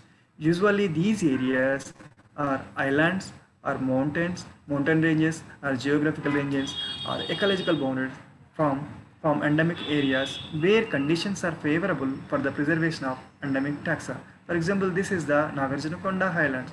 We can find here, we will find only this one typical variety of Cleome viscosa, variety Nagarjunakondensis in this particular highland. This is another species. This is Cytocline manilaliana. Only it's available in the Kaval Tiger Reserve near the Pocher waterfall. So this particular region only we will get it. So some of the highlands having more number of very rich number of endemic species. For example, Hawaiian Highlands, you can see 97% of the species are endemic to these particular highlands. Those species may not grow anywhere in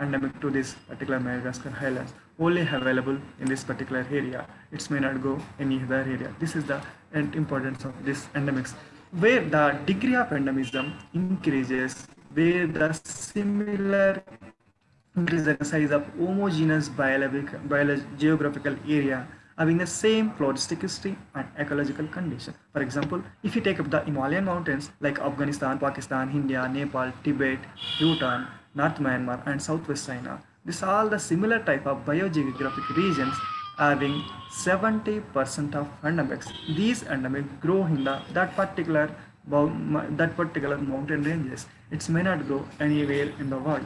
Those species is high alpine region. That particular area only it's available. So endemics once lost, it is an irretrievable loss for the any region or nation if you lost the species, it's a very difficult to retrieve the uh, that particular species. For example, already dinosaurs once upon a time it was there. It's very difficult to retrieve those particular dinosaurs. Similarly, we have many plant species, more than 12 species are extinct from our India. So these species, it's difficult to retrieve that particular species. So for so that we have to consider it to conserve this particular endemic species. So what actually studies of endemics, what is the useful for the research of this particular studies of endemism? So these endemic studies, if you do, we can understand the history of the past vegetation. Vegetation in the how is the past in the 1970s or 18 or 17th century, 17th century. How is the vegetation in the past? How it is the present situation? Whether that areas has changed anything?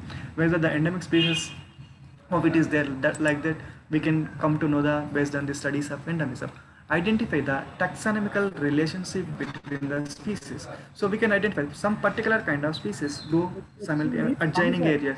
Um, sir. Disturbance మీ దగ్గరేనా అది No, sir. No, no. No, sir. No, no other one is uh, on mute.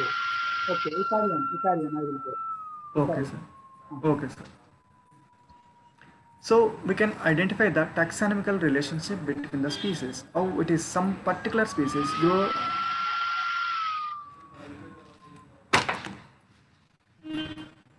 Am I audible, sir? Sir? It's audible. audible. Yes, sir. Yes, sir. Yes, sir. It's audi- audible, sir. Okay, carry on. So uh, identify the taxonomical relationship between the species because the endemic studies also we can identify some particular species growing in the particular association with the particular species. It may not associate. Sir, this sound is coming from somewhere, sir. Oh, that's what, where it is. All are in mute. All are in mute. And where it is coming. Okay, carry on, carry on, carry on. Okay, sir. So uh, this ca- characterize the forest regions and determine if it is if you particular area if you characterize a particular forestic region what kind of endemics are growing in that particular area if we come to know if you know the assessment of this endemic species whether it comes that population is very it's a rare or if it's commonly available that endemic species where Swami sir, can just, just a second. I, I will mute all. You, you again mute. Okay. please. okay okay okay Ah. Okay, you mute now. You unmute and talk. Okay. yes yes yes yes yes sir Okay, carry on. So, we can characterize the floristic region. If any having in some number of endemic species, whether those endemic species are it's in rare condition, it's a very common, it's available, those species of the particular region.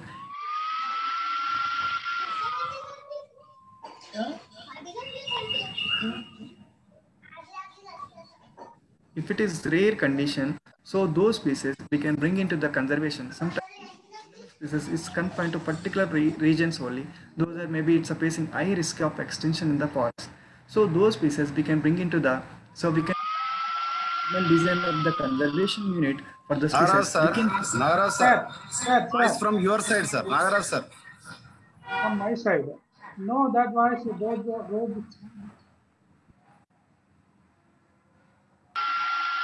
Okay, carry on, carry on. That road sound is not from me. Okay, carry on. Okay. So we can those particular kind of rare or whatever is that the threatened or it uh, comes in the critical endangered or endangered and vulnerable species. For those species, we can determine the design the conservation units and we will bring into the priority first conservation set. Whatever it comes under the critical endangered and endangered and vulnerable categories, those we will bring into the executive conservation and we can multiply it and we can reintroduce the in the natural habitats. So these endemism studies will help the conservation of the particular species.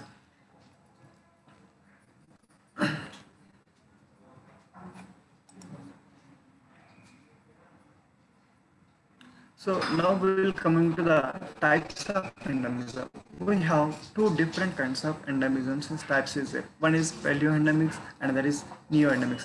In a paleoendemics means the ancient endemics represent remnants of older floras and usually occurring in land masses of geographical activity.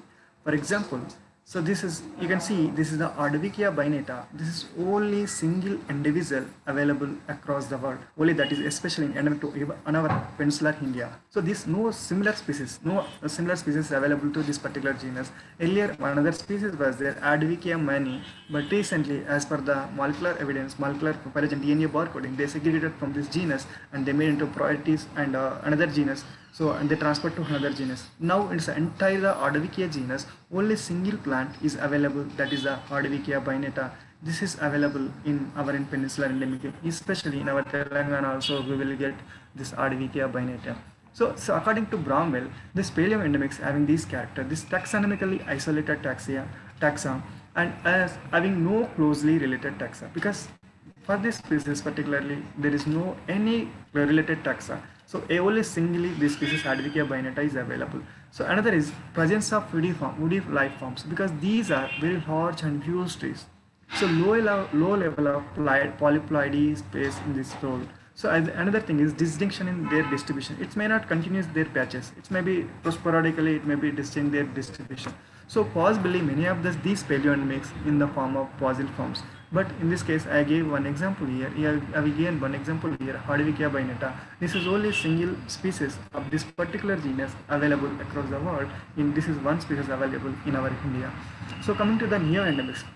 Neo-endemics means these are recently evolved endemic taxa uh, from an actively evolving parental stock that have not yet spread significantly beyond the region where we describe from that particular area. For example, these are the brachystelmas. So these are the brachystelma. I come on. So these endemics are characterized by mainly so polyploidy in nature because more than set up the chromosomes more than in number that will the because major role that is a key role for the development of this new endemic species which uh, which generally is available as, uh, in the form of herbaceous or shrubby habitats usually belong to poly polytypic genera forming a species complex with no clear taxonomic boundaries. Neoendemics also develop due to mutations and chromosomal rearrangements, polyploidy through geographical speciation and quantum speciation or sympatric speciation in new environment. So these are the, for example, I can take here, this is the Brachystelma species. These are very close relative to the Ceropegia, Ceropegia and Caralluma species. But even the habitat, if you see in the morphological unit, this is a very slender habit because the stems are very slender. Even the in case of Ceropegia, that is a tubular flower, but here it's not a tubular flower. So these are the variation. Basically, the variations is that these variation. So these are the all are recently evolved species because this is described from Penchalakona area. Dr. Rasingam sir and uh, his associates from uh, Penchalakona. This is Brachystelma penchilaconensis. It described from there. But as of now, nobody reported from any other regions of this particular species. This is another species, and me and Rasingam sir both have we described from this Brachystelma telanganensis from Amrabad Tiger Reserve. So after that, nobody has collected this particular species also. So these are confined to the particular area only. It's not spread behind that region. So these are the recently evolved species. So depend upon the range of occurrence, the endemic species may group into the different categories. So for example, this one first one in that point endemism. In the point endemism means it's a particular pinpoint of that particular area. In this category, the species is restricted to a specific habitat specific habitat. For example, I already I mentioned this is the Cytocline manilaliana described by Reddy Razu and uh, CP Razu. These two described from this particular species. They honored on the name of Professor Manilal and then gave the name of the Cytocline manilaliana. And this is this particular species is available on the Puchara waterfall of Telangana. After that, we didn't find any other individual apart from that particular. This is located to that particular Kaval Tiger Reserve. Similarly, Sesamum ecambrum Ecambrami also found in Stuartpuram in Tamil Nadu. That particular point, uh, a particular area is available. These are the examples for the point endemism. So another is the biotype endemism. This is also called geographic endemism. In this category, the endemic species are found in particular geographic region such as mountain ranges or highlands. So this is a, you can see by this everybody knows about this Nepenthes easily they can identify this future type of future kind of plant. So this Nepenthes khasiana is restricted, to the Khasi hills of Meghalaya and similarly we have Cyclium viscosa variety Nagarjuna kundensis found in typically the Nagarjuna Kunda highlands of Andhra Pradesh. So these are the, the examples for that region. Then another is the biogeographic region of endemism. These taxa are endemic to broader region and encompass a broad range of habitats with common bioclimatic characters characters such as for example this is a very common endemic species in the Andhra Pradesh and east, on eastern Ghats of Andhra Pradesh Syzygium alternifolium occurs only in the this eastern Ghats of Andhra Pradesh. Similarly Syzygium palgatans only found in the western Ghats so political area endemism. So this is another type of endemism. These endemics occur in the political boundary of the country or province or administration units, whatever it may be, it may be states or something. So for example, I already mentioned Penchilacum brachystelma penchilaconens is only found in is in Nellore, Nellore district, especially in the Rapur, Rapur area, it's a Penchalakona area. That's a very famous temple is the Penchalakona Peninsula Lakshmana Swami temple. There only we collected and our uh, vaccines are collected and described this particular species from Penchalakona and they named also the Penchilaconens. And similarly, Justicia quinqueangularis variety kaval. This typical variety collected from Kaval Tiger Reserve. So that's what named as a Kavali. So these are restricted to this particular, this Kaval is restricted to Telangana and this Penchilaconens restricted to Andhra Pradesh. So that is the political uh, boundary of endemism. So then regional endemism. These endemics are restricted any large phytogeographical region, subcontinent, etc. and encompassing more than one country. For example, in case of Saraca asoca, it belongs to the Leguminaceae family. It's found in the India and Burma and Sri Lanka. Sri Lanka. So these are the large areas, region. This we can call as a regional endemism. Another example is Alysicarpus caryuses belongs to the Leguminaceae family is confined to India, Pakistan, Sri Lanka. So these we can call as a regional endemics. So now we will coming down to the uh, endemic species, endemism in India. Just little brief, we will go to the endemism in India. So already I mentioned in India we have more than 50,000 plants available in our India.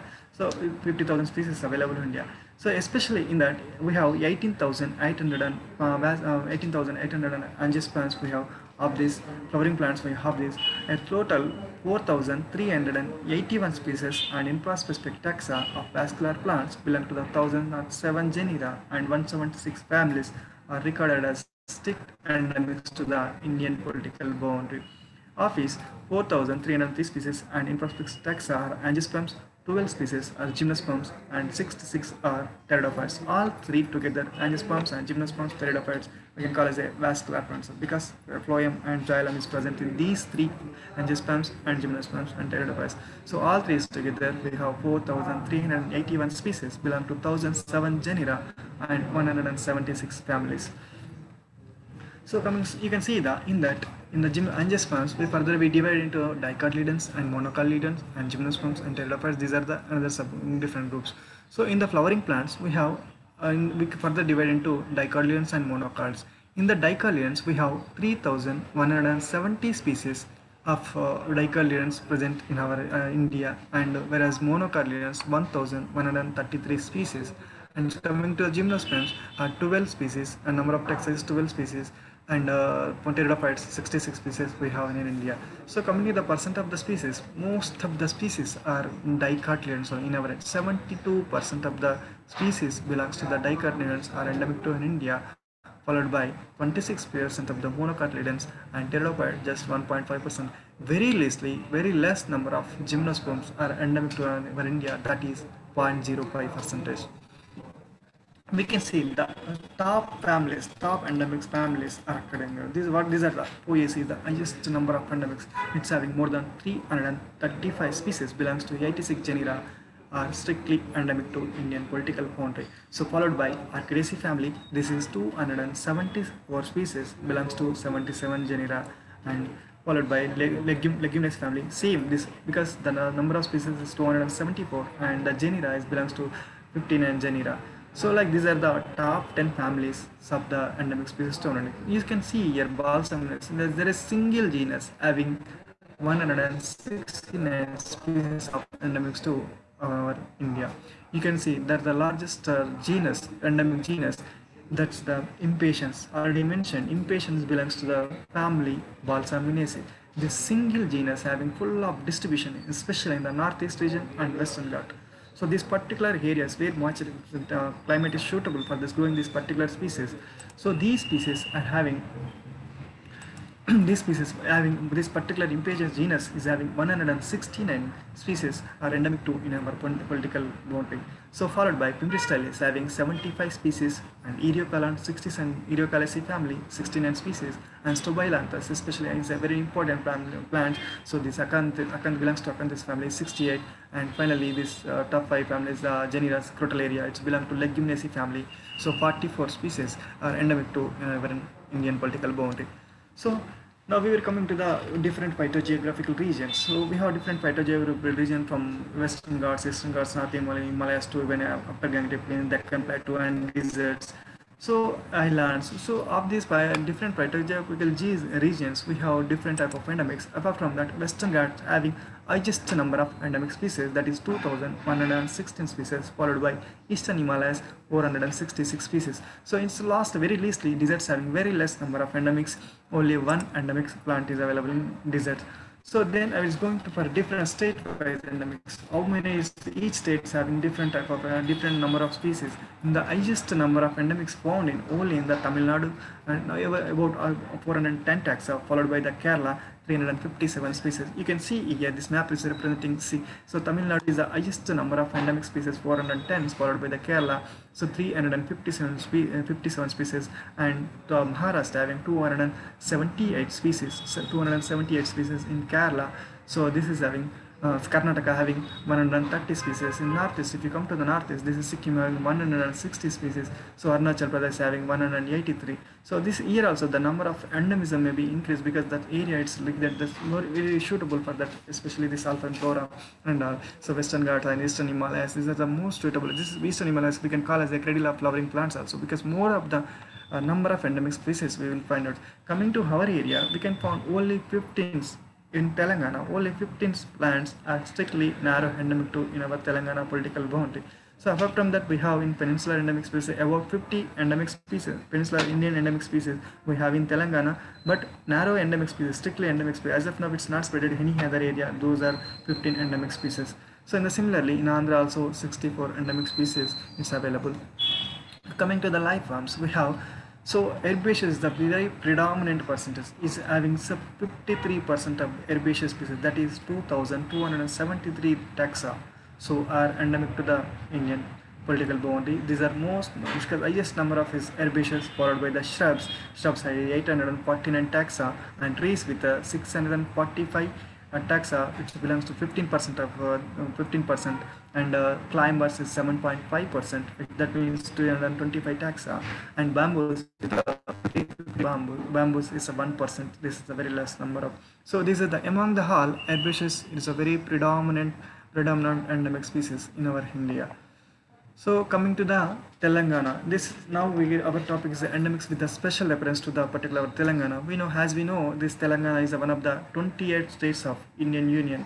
So this Telangana situated in the central stretch of eastern seaboard of Indian Peninsula. Peninsula. So Telangana has this is one lakh 14,840 square kilometer. That means 44,300 square miles. Telangana, this between these coordinates is, is available in this Telangana region. This is Telangana also surrounded by states Maharashtra and north and northwest, Karnataka in the west, and Chhattisgarh to northeast and Odisha to the east, Andhra Pradesh to the south. These are the political boundaries to the Telangana state. So geographically, the whole state can be divided into the plains and that is, is uh, plains and the eastern Ghats. So especially in the Mahabubnagar area, part of the Khammam and Bhadradri Kothagudem area, we have this eastern Ghat portion. Remaining in the all areas, we have mostly the plains, slightly some small kind of things. The forest state extends 67.5 lakhs uh, lakh acres forming.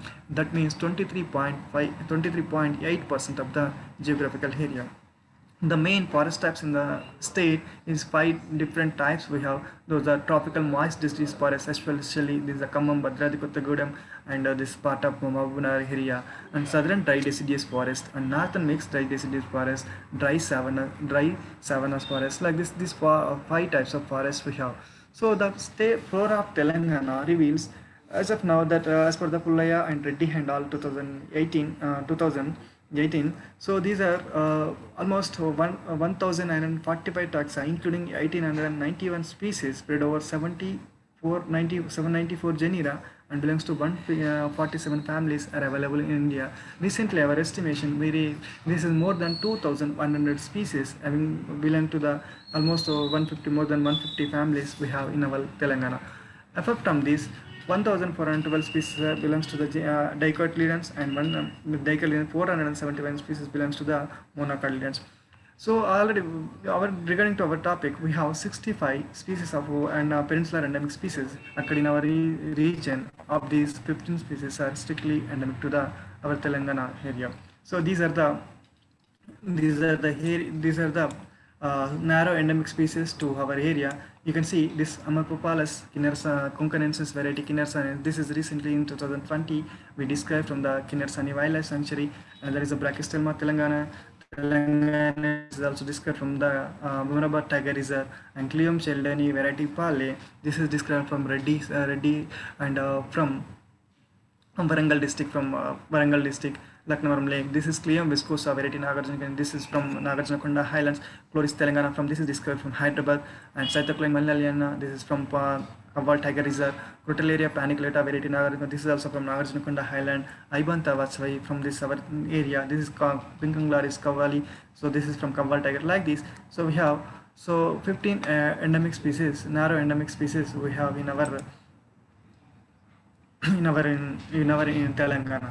So this is the species. So recently, so last surely it came in uh, in our India. This is Amorphalus and conconensis variety Kinnerasaniensis described by me and Rasingam sir uh, from our Kinnerasani uh, wildlife sanctuary. This is, uh, you can see the background uh, this uh, pictures of wildlife. These from the hill lags. I have collected this Kinnerasani uh, this uh, Amorphalus species and after the critically uh, scrutiny of this particular species. It's close to the uh, concurrent species and it's slightly it's differing the based on the especially this faith character because Aries belongs to the Heraceae family because here we can see the spathe is surrounded by the spadix. So here in the spadix you can see the bees the female flowers in between the neutral flowers and the male flowers the naked portion is this is that we can call as the appendix so these are the uh, main identification characters of the Araceae family. So these all this appendix uh, spadix is covered by the this large spathe.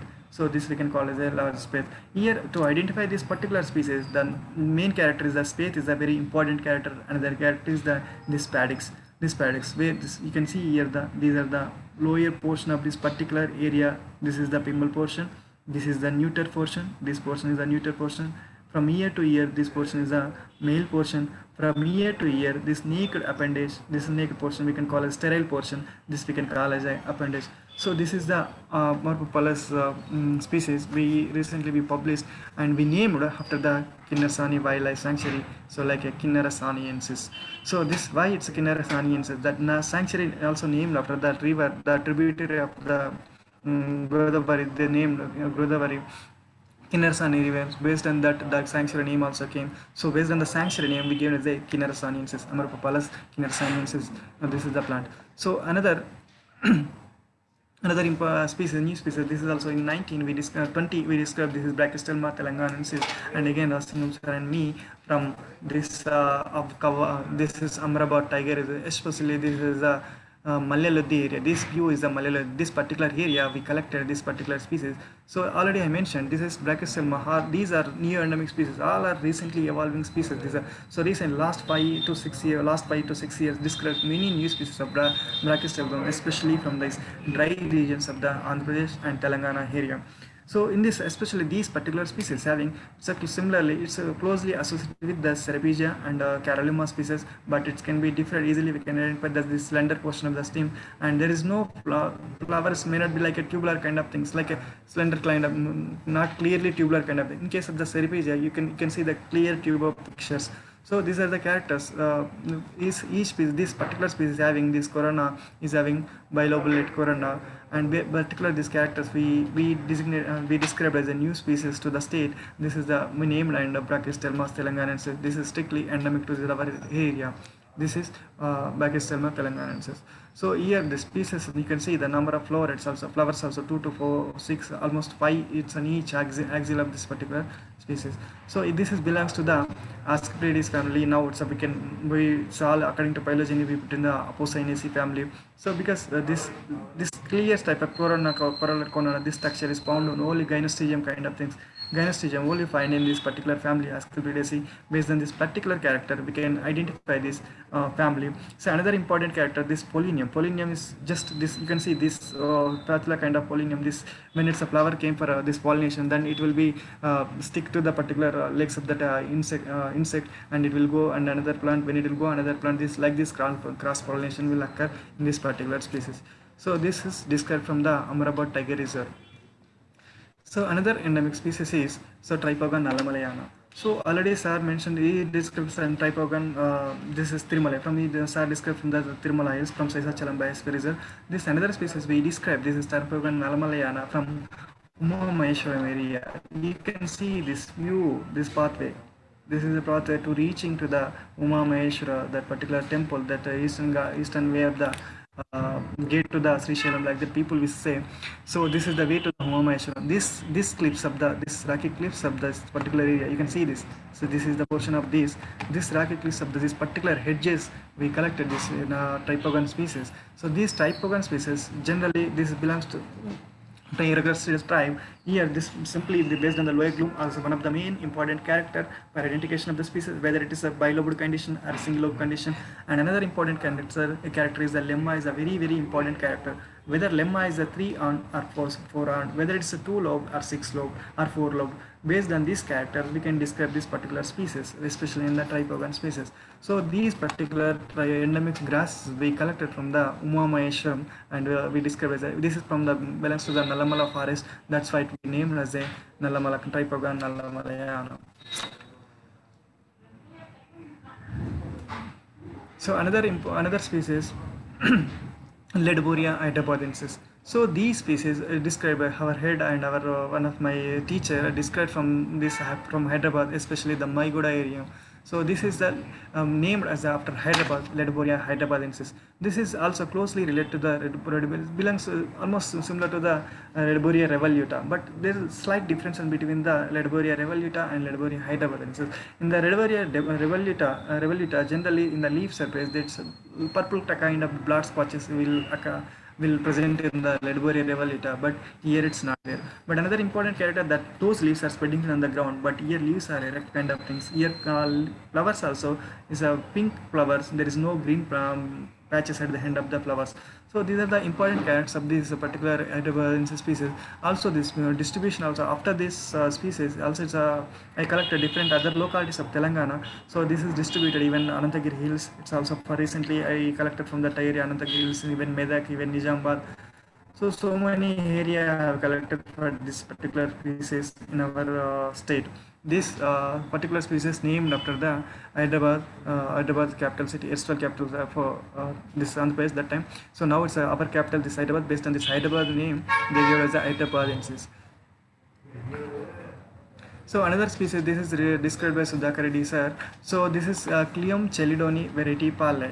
So this is one of the important um, important plant. It is a very beautiful flower plant. This is generally it's uh, also occurred in some moist areas, especially in the eastern areas of the uh, rivers, rivers and uh, water bodies this particular species it's more mostly is close very close to the Cleome chelidoni and typical variety chelidoni but here the main difference between the uh, species the number of stamen number is uh, very uh, high in this uh, in this uh, Cleome variety pali and uh, the, this typical portion especially bulge kind of typical portion the anthers is a special character for that uh, Cleome variety pali these are the uh, distinct character between the Cleome chelidoni variety chelidoni and variety pali this is described from the Laknavaram lake from the uh, Warangal district so this is also one of the important taxa from our uh, endemic taxa from our area. So another thing is Cleum viscosa variety Nagarjunakonda. Already mentioned this is a variety Nagarjunakonda highland. This viscosa, Cleome viscosa, it's also very close to the uh, typical variety variety uh, Cleome viscosa, but it also differed in the number of stamens because stamen number is very more that height of the plant even petal number of petal width and height also is more compared to the typical variety. So that's what the name Sundar Raghavan named as the Cleome viscosa variety Nagarjuna condensis variety Nagarjuna condensis. This is described from the Nagarjuna Konda highlands so another important plants uh, endemic plants already mentioned this is Cyathocline manilaliana they named after uh, on the hand of Professor Manilal K.S. Manilal so Reddy uh, Reddy CP Reddy mm, and uh, this one person from SK University they named uh, this particular plant Cyathocline manilaliana.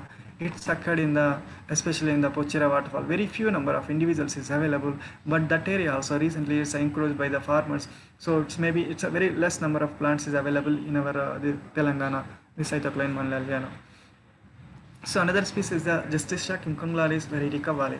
Already I mentioned this that while exploring the Kaval tiger reserves, one of our scholar described this species from Kaval tiger reserves. It's it's also very close to uh, typical quinqueangularis, but it's having some slight difference between the species. This is the habit of the particular species from the Kaval tiger reserve.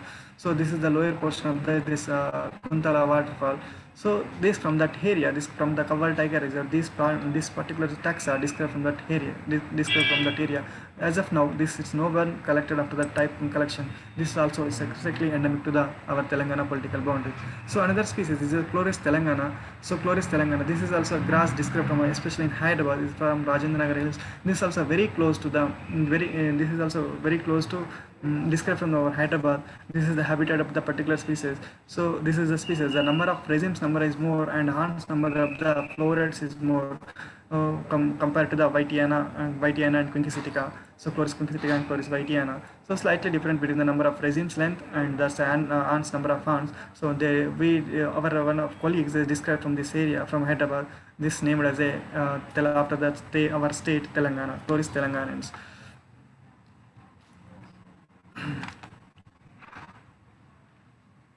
So another species, is Pancratium. Two Pancratium species recently described by Sadashiva et al. Sadashiva and its co- colleagues from the um, uh, again same from uh, Amrabad Tiger Reserve, one from the Nalama, uh, Amrabad Mananur range, another from the same both the from one is from Parhabal viewpoint nearby that area, another from Vatvarpalli. These are the two species, Pancratium Brahmarambe and Pancratium Telangana. This is Panc- uh, Pancratium is a, this Brahmarambe is a very close related to the Saint Pancratium Saint Maria, but it's a very uh, slight variation differs the that uh, typical uh, Sanctimaria based on the upon that bilobudu because each Pancratium species having this between this portion is a two lobes is available. This, this is the particular typical uh, uh, important character for this species uh, compared to the San Saint Maria. So this described as a name as a, after the Brahmarama, this is one of the Shakti Peeth in our Telangana. So Shakti Peeth in our Telangana based on her name, they named as a Pancratium Brahmarambe. So another species is a Pancratium Telangana. This is also very close to the close to the pancratium triflorum but here the neck is present in the especially in the from pancratium triflorum neck is uh, absent.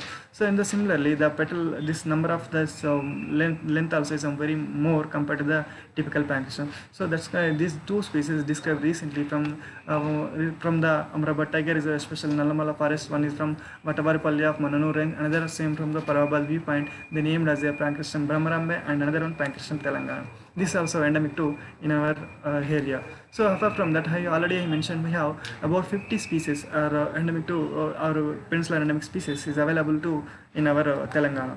So this I, each and everyone I don't want to go, but it will take a lot of time.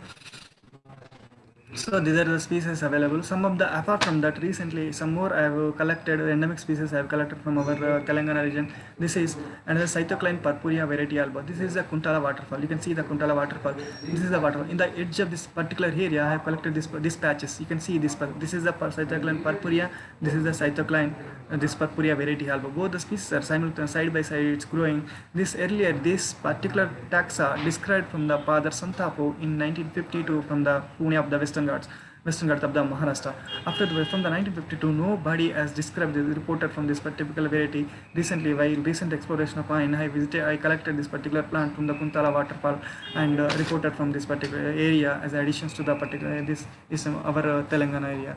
This is after the second collection from that uh, Western Ghats. This is Cyathocline purpurea variety halba. So we, like this we may apply. See they throughout the world as of these two locality only it's available this particular period um, plants taxa. So one is from this Western Ghats and another plant another from locality is this uh, from our Kuntala waterfall of uh, uh, Telangana.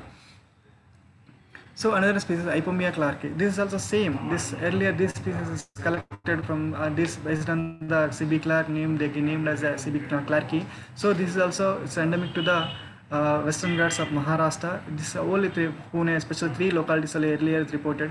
Recently, our uh, recent visits to the Amrabad Tiger Reserve and uh, Nagarjuna Sagar Station Tiger Reserve, we collected this particular plant. This adjoining to Andhra and Telangana for two localities we collected and we repeated this endemic species from this area. This is uh, we collected from the Saleshwaram waterfall. This is one of the famous water, famous waterfall and famous uh, spiritual place, especially in the Sivaratri time in, in Telangana area. Uh, that is uh, Saleshwaram. It's a very beautiful forest that area. From that area, in the when we are getting down the steps of that particular area, we collected this particular endemic species and reported uh, from here and we published in the Journal of Threatened Taxa.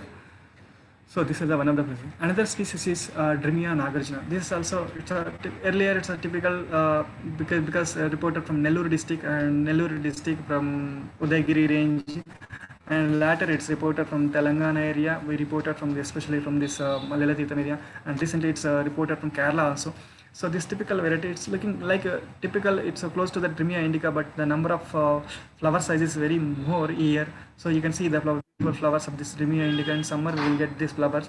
So this particular plant we collected from this Malala which This is also one of the famous waterfall and sacred grove. So you can see the water drops will fall like a jasmine flowers. So that's what they can call. They called as a Malala Tirtham. Malala means jasmine flower. So Tirtham, that is the one of the famous uh, spiritual place. That's what they named as a Tirtham. So this we can Malala. So this is from um, cover. Uh, this is Amrabad tiger reserve. This uh, particular species very important. So another is Hygrophila serpyllum. This is also it's uh, uh, this endemic species occurred in the it's a northeast upper Gangetic plains and some part of the uh, south also. Recent our collection I collected this particular species from again from the Kuntala lower stream the Kuntala waterfall. From this belongs to the Acanthaceae family, this Hygrophila. Because generally we, when we say Hygrophila means we can see the th- thorns and of the particular each node we will get the thorns or two to three spines we will get. But here there is no spines of this particular. This is growing like a mat-like condition and the lower streams of this uh, uh, Kuntala waterfall, this endemics I collected. Uh, this particular species I collected from that area. Thank you so much uh, for listening this because I want to give very few because uh, if we give all the endemic parents or endemic also it will take a lot of time. That's what only whatever the narrow endemic species of that particular area. So I showed here. So if any have doubts or questions, you can ask us. We can give answers.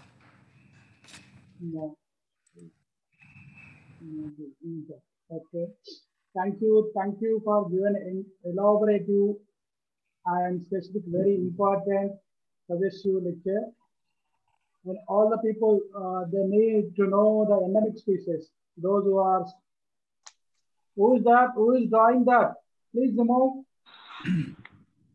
Swa- Swami sir, Swami sir. Sir. Sir, you have a pen option above, uh, uh, there. There you have the uh, the re- recycle bin like option is there. There you can remove, please. Okay, okay, I will, I will That- remove. all the, all the drawers, please. Okay, sir. Okay, sir. I'll remove.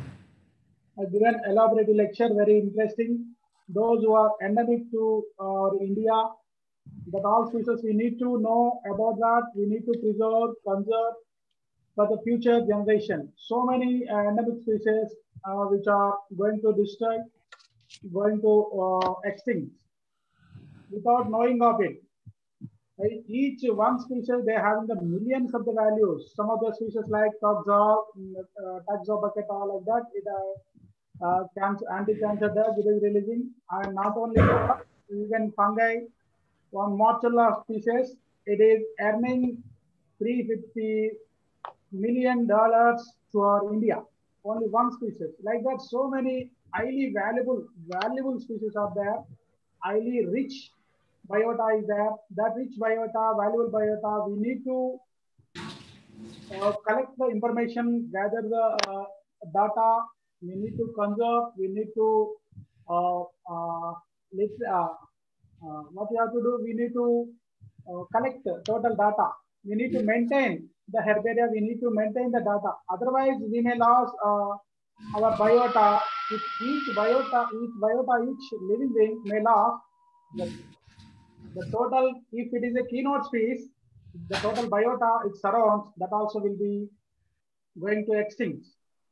The we, know we don't know yeah, which species is very highly valuable, which species is very rich.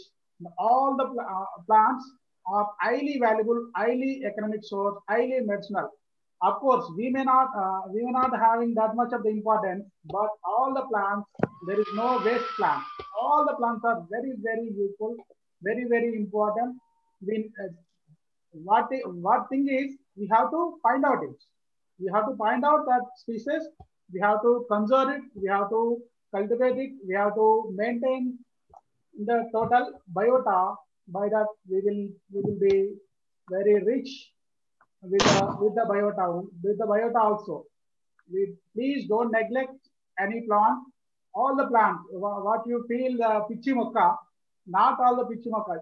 There is no pichimokka. All are medicinal values. All are economically valuable. Only one thing is we have to know that. Without knowing uh, uh, that, we are uh, very uh, discriminating that all the species. Without knowing of that, without uh, without the knowledge of that, we are losing. So this very interesting lecture. Those are endemic. Those are endangered, going to endanger. Those are rare, very rare. There are those are in vulnerable states. That all we have to preserve. We have to conserve. We have to maintain the data for the future. Thank you, thank you, Swami sir, for giving elaborate lecture. Sadashiva sir, you have any doubt? Sir, Ah, yes, sir. uh, you can, you can. Uh, Please, uh, first of all, uh, let us congratulate uh, Dr. J. Swami for elaborative his lecture.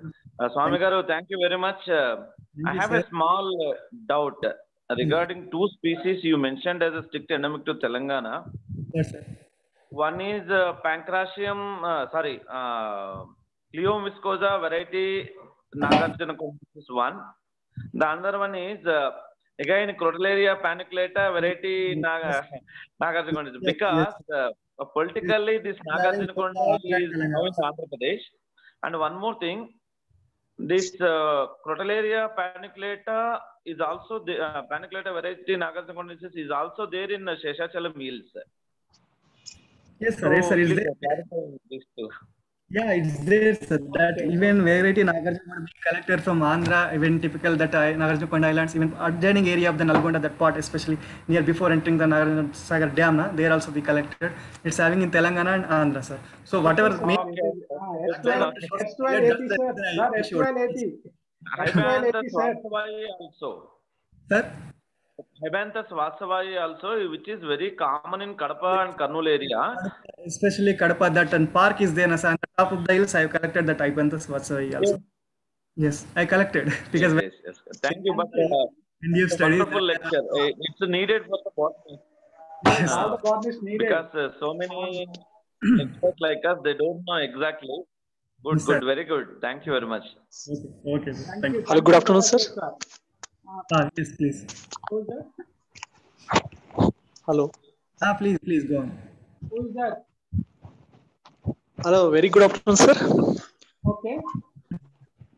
Uh, sir, any plant? Unmute yourself and speak.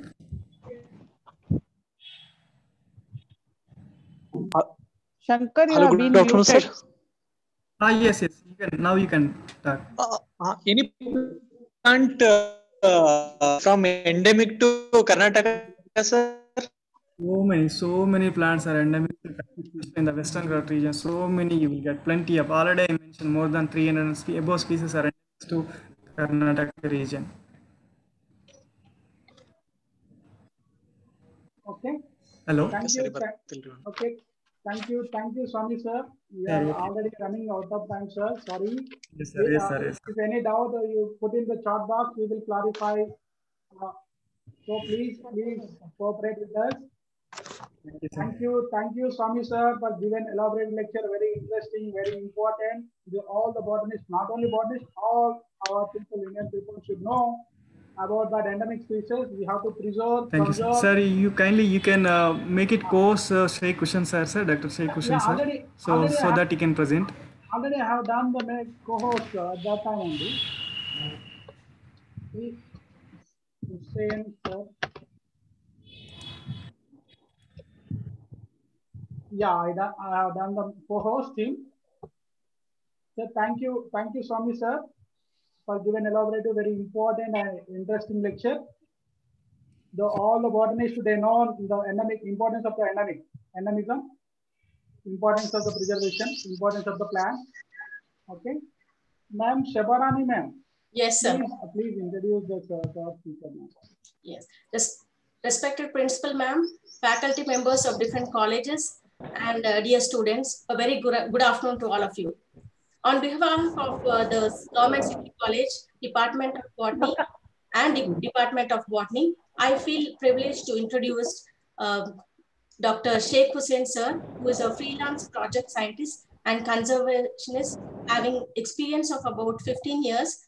And he worked uh, for four years in laboratory for conservation of endangered species and in CCMB, that is the Center for Cent- Cellular and Molecular Biology, Hyderabad.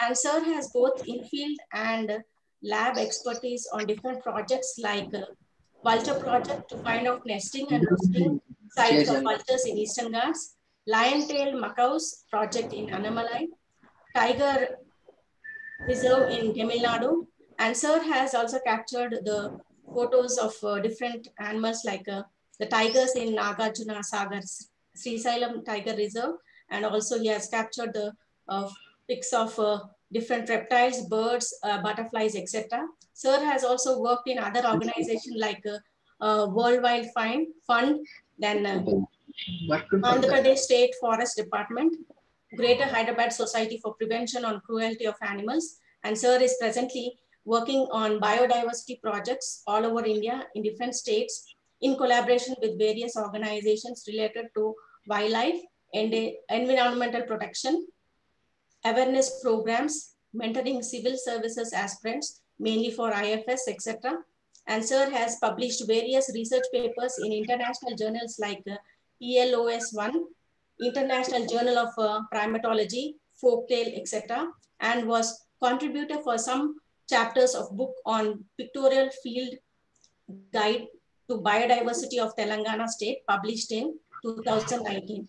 With this brief introduction, I invite our last and final speaker of today's webinar, Dr. Shaik Hussain sir, to deliver his lecture. Over to Shaik Hussain sir. Thank you, madam. Good afternoon, all. Hope it is audible. Yeah, yeah, audible. Welcome, sir. Okay, thank you, sir. Thank you, sir. Is my screen visible, sir? Yes, sir. Yes, sir. Visible, sir. Please, Okay. please go on. Thank you. Sir. So, thank you, madam. Thank you for giving me my introduction. So, uh, directly I will go into my topic because time is running. Yeah, yeah. Uh, yeah.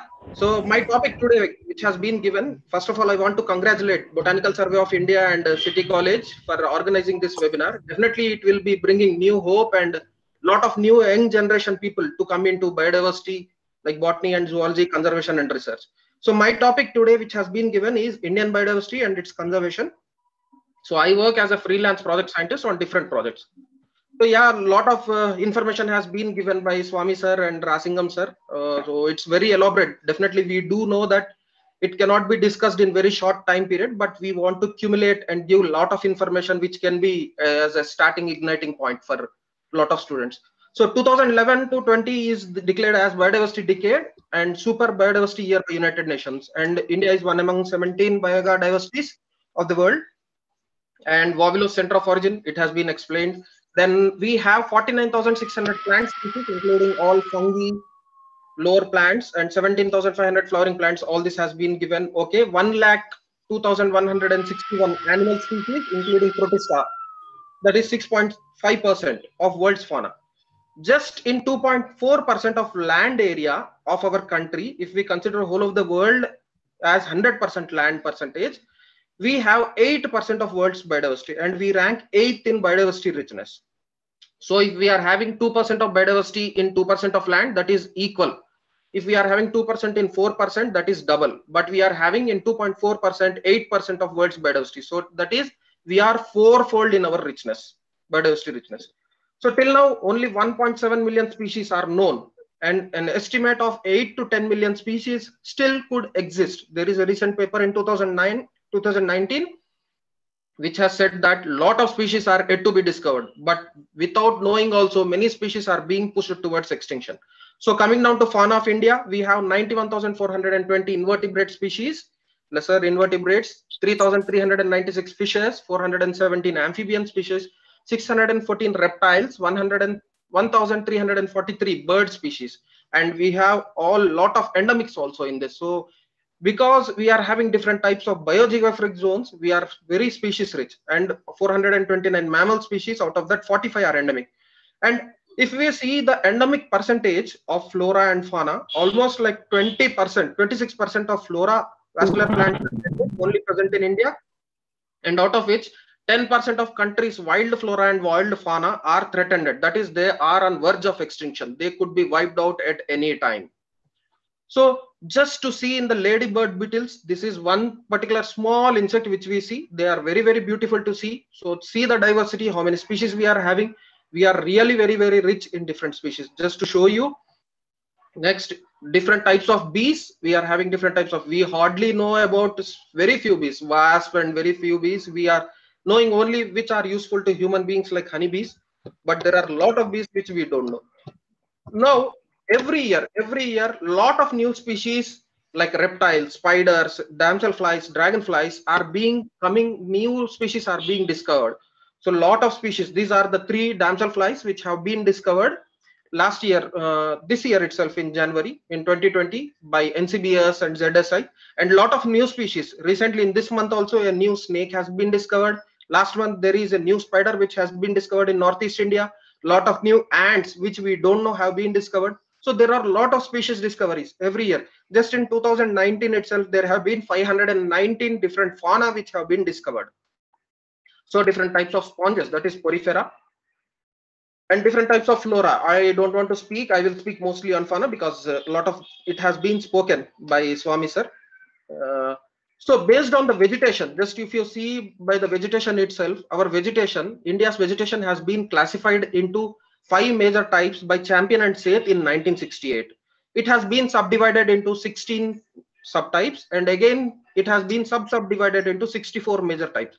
So we are having different types of forests in our country and we are having world's biodiversity four hotspot biodiversities totally world consists of 36 hotspot biodiversities out of that our country india has four hotspot diversities hotspot biodiversities the himalayas indo-burma region the western ghats and the sunda land sunda land is a part of andaman and nicobar islands and all the southeast asian countries come into that. So we are part of that. So we are having four hot four hotspot biodiversities. Hotspot biodiversities concept is given by uh, it is declared by conservation international and uh, based on there are few rules. That is endemism and vascular plants and species richness those particular places are described as hotspot biodiversities so because having from jammu and kashmir to the kanyakumari in tamil nadu in the south and in the west gujarat to the north uh, eastern region arunachal pradesh our country consists of different types of tropo- topographic regions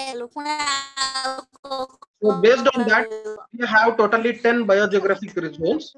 So these biogeographic zones are, first one is Trans-Himalayan region. This consists of 5.6% of the total geographical area and it is the area of Ladakh, Jammu and Kashmir, Lahul Spiti areas and it consists of alpine steppe vegetation and it has a lot of endemic species. We can see wild species, Himalayan thar, snow leopard uh, and other uh, species. Himalayan zone, the second one is 6.4% of the area, highest peaks in the world. We have the world's youngest mountains, the Himalayas, and we have the highest peak, Mount Everest. And here we have the alpine and subalpine type of forest and grassy meadows of moist deciduous, mixed deciduous. Here we can see Bharal, Ibex, Markhor, Thar, Takin, Hangul, and Musk deer. Next is Indian desert zone. We have Thar desert and it is 6.6%. And here we can see Wolf, Caracal, desert cat, Houbara bustard, Great Indian bustard, which are highly critically endangered. Only 150 have been left in wild. Semi-arid region, 16.6% of the area. It's the transition zone between the desert, that is the Thar desert and the Western Ghats. Here we can see Sambar, Cheetal, lion, Caracal. And we have Asiatic lion. The only place in all over the world it is found is Asiatic lion is found in Gir, Gujarat. Next is Western Ghats, one of the hotspot biodiversities, 4% of the total area. It consists of tropical evergreen forests and it is one among the UNESCO's World Heritage Site and it has 139 spots in it and it is one of the biodiversity hotspots with 15,000 species of higher plants out of which 4,000, 27% are endemic to this region. We have Nilgiri langur, lion-tailed macaques, grizzled giant squirrel, Malabar civet, Nilgiri thar, Malabar grey hornbill, Travancore tortoise, cane turtle which are found only here and we have 16 endemic birds which are found nowhere else in the world. We have a lot of species which are found like lion-tailed macaques, grizzled giant squirrel, Malabar civet, brown civet, brown Indian civet, which are nowhere else found in the world. Their population is very, very less and they are threatened. Next is Deccan Plateau, highest percentage of all the biogeographic zones. This consists of 42% of the total land area. And it is in the states of Madhya Pradesh, Maharashtra, Orissa, Telangana, and it consists of deciduous forest, thorny forest, and degraded scrublands. And it has the species which we see commonly cheetal, the state animal of Telangana, sambar deer, nilgai, chausinga, barking deer, Indian gaur, which is the world's largest bovid, black buck, antelope cervicapra, the state animal of Andhra Pradesh, elephant, Elephas maximus, and we have the world's largest population of elephant, Asiatic elephant, buffalo, wild buffalo, swamp deer, etc. In the Gangetic Plain, the plain where the land where the Ganga River flows, all its basin is known as the Gangetic Plain, and it consists of 10.8% of the total area, world's highest fertile region. Because of this fertility, the highest percentage of industries, factories, highest production of food like sugarcane, paddy, jute, all is from this area. Because of that fertility, highest density of population is also found in this particular area. If we consider just the Uttar Pradesh population, that is 22 crores, it can be based on the population if the largest countries can be made uttar pradesh stands at the fifth place then you can consider its fertility so it is like 5 lakh hectares of the land 10.8 percent of the total area it consists of rhinoceros unicornis, one-horned rhinoceros, elephant, buffalo, swamp deer, hog deer, hispid hare, etc. Next is the northeast region, the second hotspot biodiversity, 5.2% of the total area. Indo-Malayan and Indo-Chinese region. Here also a lot of endemic species can be found. Caped langur, Hoolock gibbon, pygmy hog, lot of flora and fauna which are endemic and nowhere else found in the world are found here. Golden langur, etc. Next is coastal region, 2.5% of the area. It consists of sandy beaches, mangroves, mud flats, coral reefs, and marine angiosperm passes. It is from Gujarat to the Sundarbans. It is estimated to be 5,423 kilometers long coast and a total of 25 islands of Lakshadweep, which are of coral origin and reef lagoon and highly rare and endemic species are found in this region. Next is Andaman, the third hotspot biodiversity, only 0.3% of the land area and the extension of the Himalayan hills, which end up as Arakan Yoma hills from the northeastern southern diverting regions. Those tips of those Himalayan tips of the Arakan Yoma hills are known to be, which can be seen, are the Andaman and Nicobar Islands, totally 250 almost Andaman, Nicobar, South Andaman and North Andaman. So we have 348 Andaman islands which are have biogeographical affinity that is closest to the Southeast Asian countries like Myanmar and other Sunda places. The Nicobar Islands is consists of 90 kilometers from the Sumatran Indonesian and it consists of highest endemism of flora and fauna. They are not found again anywhere else in the world. So northeastern Himalayas, again briefing of this place because it is very rich in its plant and animal species richness and we have lot of flowering plants orchids many of those species which we are cultivating today. There has been a recent rice variety paddy paddy variety which uh, is being developed by iari indian agriculture research institute and it has been uh, developed also. Just if you soak the rice it will be cooked after half an hour. No need to cook that rice directly. So we are having lot of new species of flora and fauna coming out from this region lot of new amphibians, a lot of new spiders, snakes, Kalazar uh, snake, a lot of species which are being found from this species. A pit viper has been found out last year. So lot, lot of many species are coming out from this region. Again, Western Ghats we have already discussed. So it is about 15,000, 1500 endemic species of dicotyledonous plants are reported from Western Ghats. And we have a lot of endemic species, including mammals, birds, reptiles, amphibians, and lot of fish species which are nowhere else in, found in the world.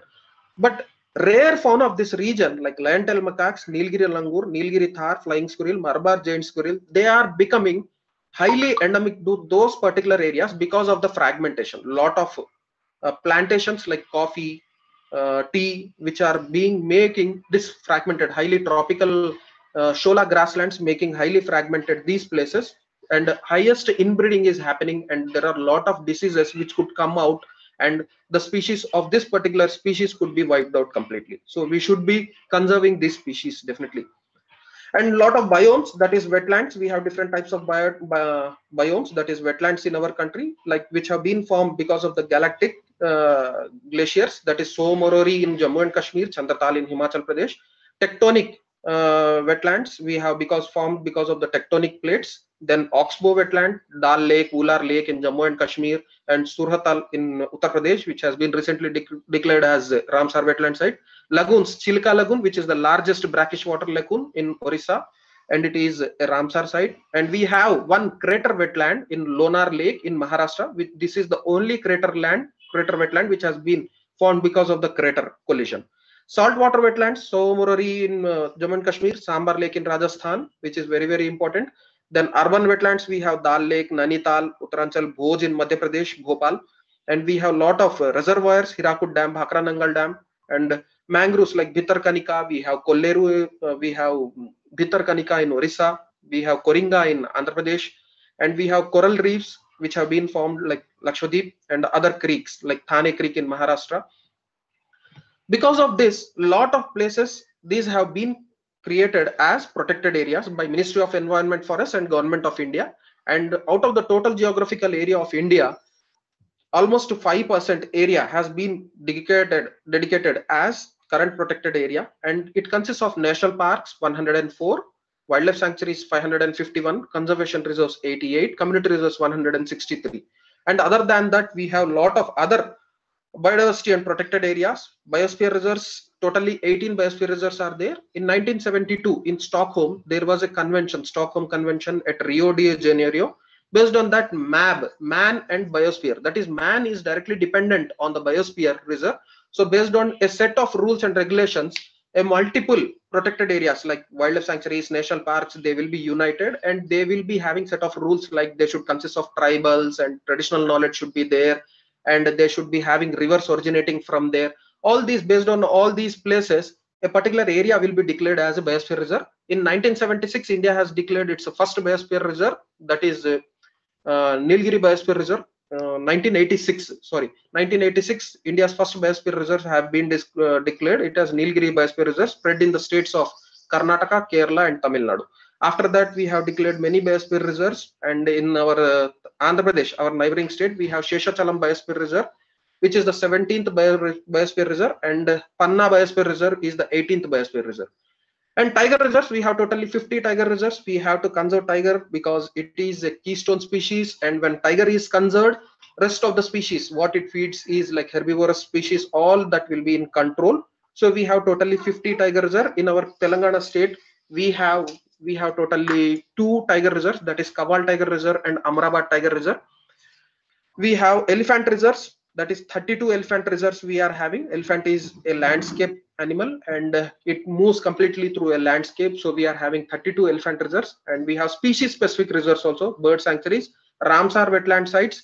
We are having 42 marine coastal reserves and mangroves. We have 38 mangroves. Gujarat, Sundarbans is world's largest uh, mangrove site, which is inter uh, inter-country Ramsar wetland site also, which has been declared by MOEF. There are totally 551 existing wildlife sanctuaries in India that covers an area of, uh, uh, we have discussed this, 3.64% of the total geographical area of the country. Totally 50 tiger reserves. I am showing you the map and we have discussed that we in our state having totally 19 states of our country have 50 tiger reserves.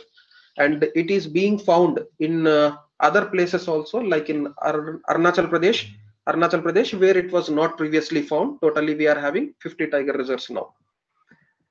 And wetlands, uh, we have been discussing about the wetlands, totally Ramsar wetland sites. In 1971, on February 2nd, a Ramsar, a place on the river banks of uh, Caspian Sea, we have uh, this place called as Ramsar, where the convention of almost like uh, different countries, 144 countries of the world have met to conserve wetlands, that is ponds, rivers, inlands or coastal wetlands, different types of wetlands. They have said that we are directly dependent on wetlands and for conservation of biodiversity wetlands are very very important. Water is very very important. So it has to be conserved.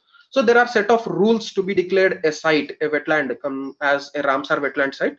So we have been declaring india has been taking initiative in making many sites of our country as ramsar wetland sites so there are very very important wetlands like in kolleru lake in andhra pradesh we are having then nelapattu pulicat bhoj in bhopal madhya pradesh Ashtamudi in Kerala, Vembanad in Tamil Nadu, then Dal Lake, Wular Lake, Tso Moriri. All these are very, very important Ramsar wetland sites which have been declared. So these are different types of uh, uh, coastal wetlands which have been declared, which I said you. Next list of marine protected areas of peninsular India. We are having coastal areas which have been declared as marine protected areas. In our neighboring state we don't have coastal area but our neighboring state andhra pradesh has. So koringa krishna and pulicat are the marine protected areas of our neighboring state. Other than that we have very very important uh, marine uh, conservation protected areas like bhitarkanika in orissa chilika gahir mata which is very very important site for olive ridley turtles and it is one of the world's largest breeding site for olive ridley turtles Where every year olive ridleys come for breeding Next, these are the 18 biosphere reserves we have discussed already. Sheshachalam Biosphere Reserve in Andhra Pradesh, Panchmari, Kutch in Gujarat, Gulf of Mannar in Tamil Nadu, Agasthyamala in uh, Kerala, then Dehang Dibang in Arunachal Pradesh. A lot of these are biosphere reserves. Out of this, totally seven are declared as World Natural World Heritage Sites. Out of the Greater Himalayan National Park, Nanda Devi National Park in Uttarakhand, Keoladeo, Ghana, in Rajasthan, Western Ghats, out of Western Ghats, which is spread uh, from south of Gujarat to Gujarat, Maharashtra, Karnataka, Goa, Tamil Nadu, and Kerala. Totally 139 sites have been declared as natural world heritage sites. And we have Kaziranga National Park and Manas National Sanctuary, Wildlife Sanctuary in Assam, and Sundarbans National Park in West Bengal. These are the seven out of uh, 18 biosphere reserves. Totally seven are natural world heritage sites. These are few migratory birds. India comes under the Central Asian flyway. So out of this, these are the nine species which migrate to India from Siberia because of the uh, extreme climatic conditions from Siberia and Russia. These birds come for breeding and food during the winters. They can be seen in lot of wetlands like Chilika and lot of places, Pulicat, Nelapattu, West Vembanad. These migratory species can be seen and uh, every year there will be waterfowl census also and migratory bird census also in these areas. These are the critically endangered birds of India. Here you can see Great Indian Bustard, which has been recently declared just two years back as a critically endangered species because of only 150 in its number. Bengal florican, lesser florican, long-billed vultures. We have in India totally nine species of vultures. Out of that, gyps species, long-billed vulture, slender-billed vulture, and uh, we have white-backed vulture, oriental white-backed vulture, red-head vulture. These are declared as critically endangered because their population has declined almost more than 99%, uh, which we used to see because of a non-inflammatory drug, diclofenac. Because vulture feeds, it's a scavenger bird, it's very, very important. It keeps our environment clean. We have to protect those species. So SAVE, a program by RSPB and BirdLife International and other organization like BNHS, WWF, a lot of people, many people are working on these species that is vulture to bring back from verge of extinction. Now diclofenac has been, which is a painkiller, it has been banned in like cattle use. So it cannot be used. Now vulture is not, uh, vulture is being conserved at uh, different uh, breeding sites of our country. Other than that, in our neighboring state, we have Jerdon's double-banded courser, which is found only in Lankamalleshwara Sanctuary, Wildlife Sanctuary of Kadapa district. And we have white-bellied heron in Northeast India. We have we can see uh, very rarely spoon-billed sandpiper in uh, Sundarbans and other coastal areas. So these are some of the species. Bougainvillea, it's a species which is found in uh, Eagle Nest Wildlife Sanctuary, discovered, described, uh, discovered for the first time by Ramana Athreya from IISER, Pune. So he has described this species by, it is named on the Bugun tribe of Arunachal Pradesh of Eagle Nest Wildlife Sanctuary. These are the state-wise representatives. So for uh, representation and for the conservation of different species each and every state has its own state animal state bird state tree and state flower. For our telangana state we all know that deer that is spotted deer axis axis is our state animal indian roller that is blue jay which we call it as also palapitta in telugu and it has very very important role during the dasara festival. And we have jammi uh, tree which also has important role during this Dasara festival. We uh, have declared these both that is state bird as Indian roller and state tree as Jammi and uh, Tangedu. That is we also know this flower that is the state flower which is used during the Bathukamma festival we all know and other projects MOEF Ministry of Environment and Forest and the state governments have been protecting these species in different projects. They have been declaring these projects different projects. Project Tiger came in 1973 to give importance based on that only uh, wildlife protection act. After that wildlife protection act also came in 1972 and highest importance is being given for project tiger uh, in 1973 project tiger has been formed till 2004 it was there in 2006 it was dissolved and it has been made as national tiger conservation authority ntca and uh, another organization called as wccb wildlife crime control bureau has also been started to protect tigers of our country. Now, presently in our country, for every four years, there will be a tiger census uh, with the help of different organizations and Wildlife Institute of India from Dehradun care, takes care of this execution of this uh, counting of tigers. And now presently we are having 2,967 tigers, which is almost like 65%. World's highest tiger percentage is present in our country in 50 tiger reserves of our country. So we have Project Lion, Asiatic Lion, only up to 500 there are present in our country, which are present in Sasan Gir National Park uh, of our Gujarat state. We have Project Lion, which is present, Project Lion. Then we have Project Rhino. One horned rhinoceros is found in Dudhwa, Manas National Park, in Assam, and a few other places in Northeast India. Only 2000 are left. So Rhino Vision 2020 project has also been started, initiated by MOEF and WWF India in order to increase its population. Highest poached animal. This is also one of the highest poached animal because of its horn. and Project Gharial, National Gharial Sanctuary. Gharial is found in Chambal River of uh, Rajasthan and Madhya Pradesh, which borders these two states. And Gharial is found only there. So Project Gharial has been started in order to increase its population. Next, Project Vulture we have started because its population declined. We have discussed this. Then Project Elephant has been started in 1986. Then Project Dolphin. Dolphin has been declared as a national aquatic animal in 2010 and elephant has been declared as national heritage animal in 2010 and project gharial then project great indian bustard which has been recently started two years one year back. So because to increase its population by rajasthan state forest department ministry of environment and forest wildlife institute of india and other organizations they have successfully got the hatchlings of great indian bustard hope we get its population increased in coming next few years. This is the site of the olive ridley turtles in Gahirmata beach and Rushikulya beaches of Orissa. It is one of the world's uh, largest congregation where these uh, marine turtles come on the coastal areas of Orissa to lay its eggs. After 45 days, when they lay eggs after that, these uh, hatchlings of these uh, olive ridleys go back again to the ocean. Only this time it comes onto the surface and uh, we are having the world's largest site, uh, breeding site. It is called as Arribada threats to biodiversity. We are having a lot of biodiversity but uh, there are a lot of biodiversity threats also. Human induced anthropogenic pressures like habitat loss fragmentation degradation resulted due to the agricultural activities extraction including mining fishing logging and other industrial associated infrastructures. Habitat loss and fragmentation leads to the formation of isolated fragmented patches small scattered populations. These small populations are increasingly vulnerable to inbreeding depression high infant mortality and susceptible to stochastic environmental effects. So other than that, we have poaching and hunting, invasive species, overexploitation of wild bioresources, pollution of atmosphere, water, soil, global climatic changes are causing threats to the biodiversity. That is, we are knowingly or unknowingly pushing many species towards extinction.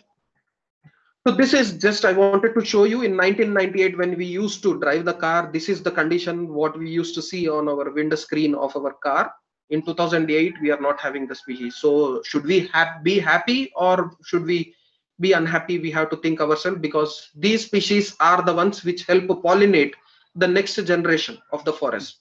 If they are not there the next generation of forest is not there forest is not there water is not there we are not having oxygen and water.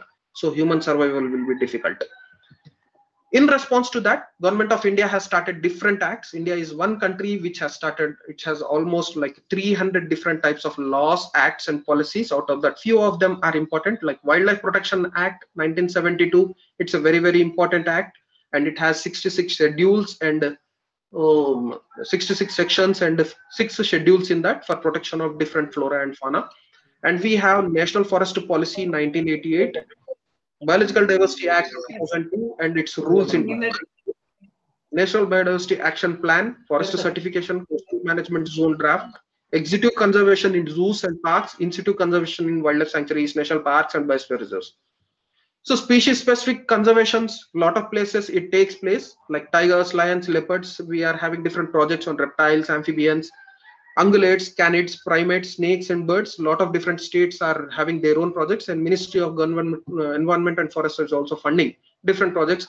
Like organizations like Botanical Survey of India, Zoological Survey of India are involved in many project, different projects of conservation, their taxonomic identification, their finding, their status. A lot of these uh, organizations play important in conservation of these species. So coming down, what we can do uh, as students, as a college or university, I wanted to tell you in different uh, months of our calendar year, we are having different important days. Just I wanted to show you different important days. Like in January first week, uh, fortnight, we are having 15 to 31st can be celebrated as annual fortnight. February, we are having 2nd February as World Wetlands Day, as we have discovered, uh, uh, scheduled that uh, on Ramsar, at Ramsar, first convention of uh, World Wetlands Day has happened, and every year on World Wetland Day is celebrated on 2nd February. And uh, we are presently having 42 wetlands, Ramsar wetland sites, and 28th February is celebrated as National Science Day, and we have World Pangolin Day on 3rd Saturday. Pangolin is one of the most highly poached animal presently. In India, we have two species of pangolins, Indian pangolin and the Chinese pangolin. March in March we have very very important days. Third March is World Wildlife Day. 14th March uh, is International Day for Action of Reserve, uh, Rivers. Then uh, 20th March is celebrated as World Sparrow Day, World Frog Day. 21st March is World Forestry Day. 22nd March is World Water Day. 22nd, 23rd March is uh, World Water Day. So different types of days are celebrated in March, and in April we are having 22nd April as Earth Day, which is very very important. Then in May we have World Biodiversity Day, Biological Diversity Day, International Biological Diversity Day on 22nd May. 23rd May celebrated as World Turtle Day, and uh, we have Turtles and Tortoises Day on March May 23rd. Then uh, dugong is uh, also called as a sea cow. Wildlife Institute of India has declared uh, May 27th as uh, first in 2020. May 27 has been declared as World Dugong Day in order to conserve these species, which is found in our coastal uh, waters. It is uh, herbivorous animal which is found.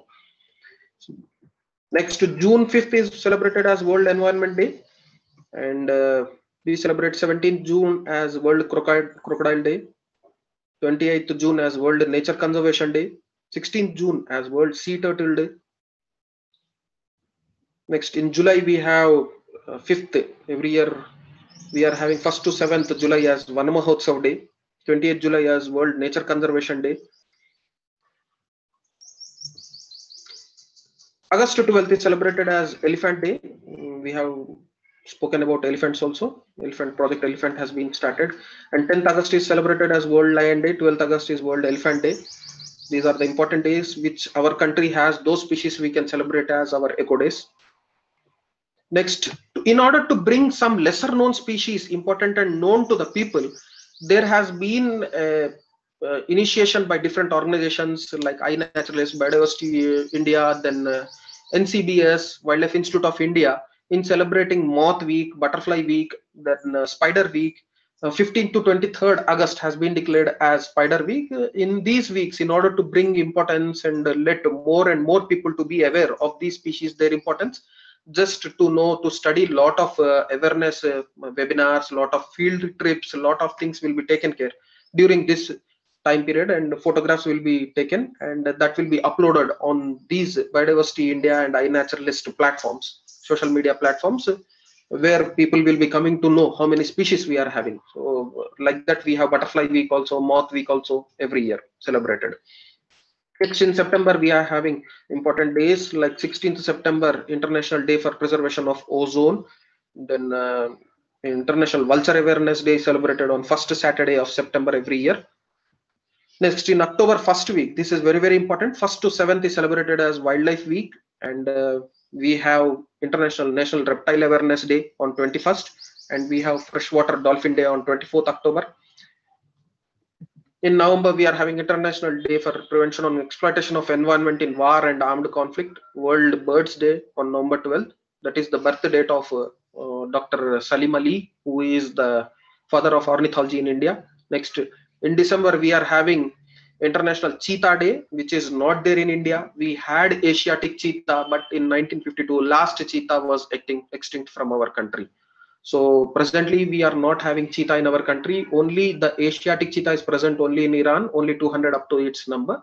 Presently uh, from Namibia, we are trying to bring back cheetah, that is African cheetah. We are trying to bring back into Rajasthan and Maharashtra. Kuno Wildlife Sanctuary, Wildlife Institute of India and Ministry of Environment and Forest is trying to bring back cheetah into our country.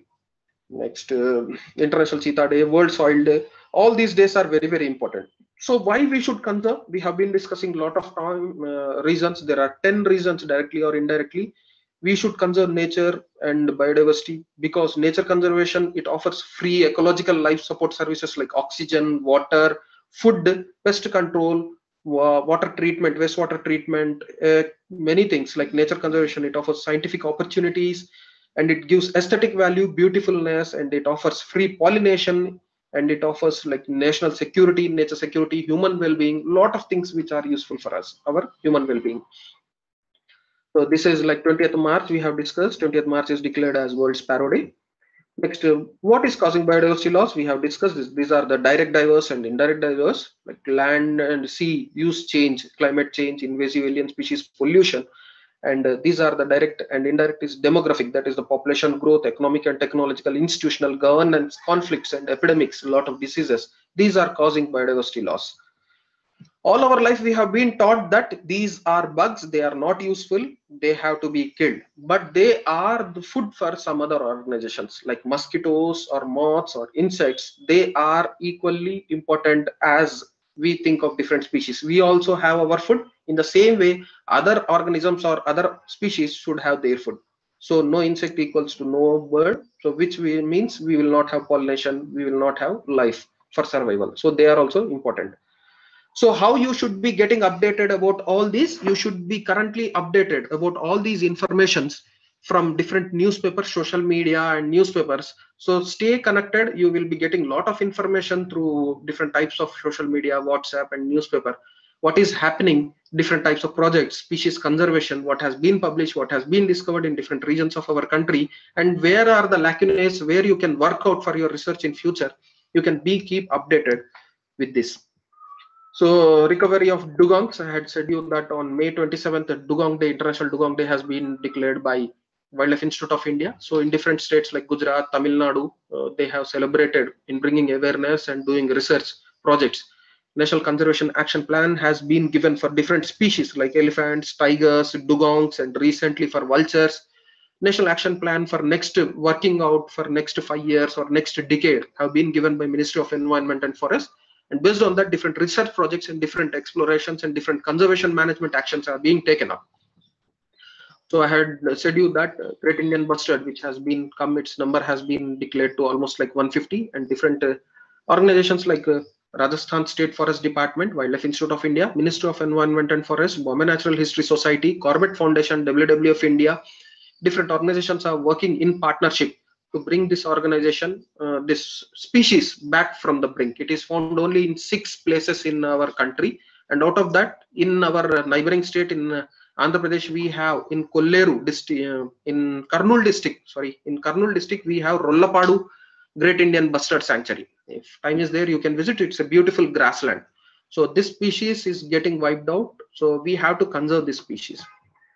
So what we have been doing so there was a pandemic where no one was allowed. We have went into lockdown. We thought that uh, we are conserving the species but our masks which we have been using are becoming again problem. So wise usage of uh, not having not using the plastic and uh, not wasting the bioresources don't waste electricity water or whichever is not useful to you only use those things? So please prevent single use plastics like straws or plastic glasses or uh, one time usage please prevent them. So you can use multiple usage things only. So that is what we can do uh, at initially. Start with that.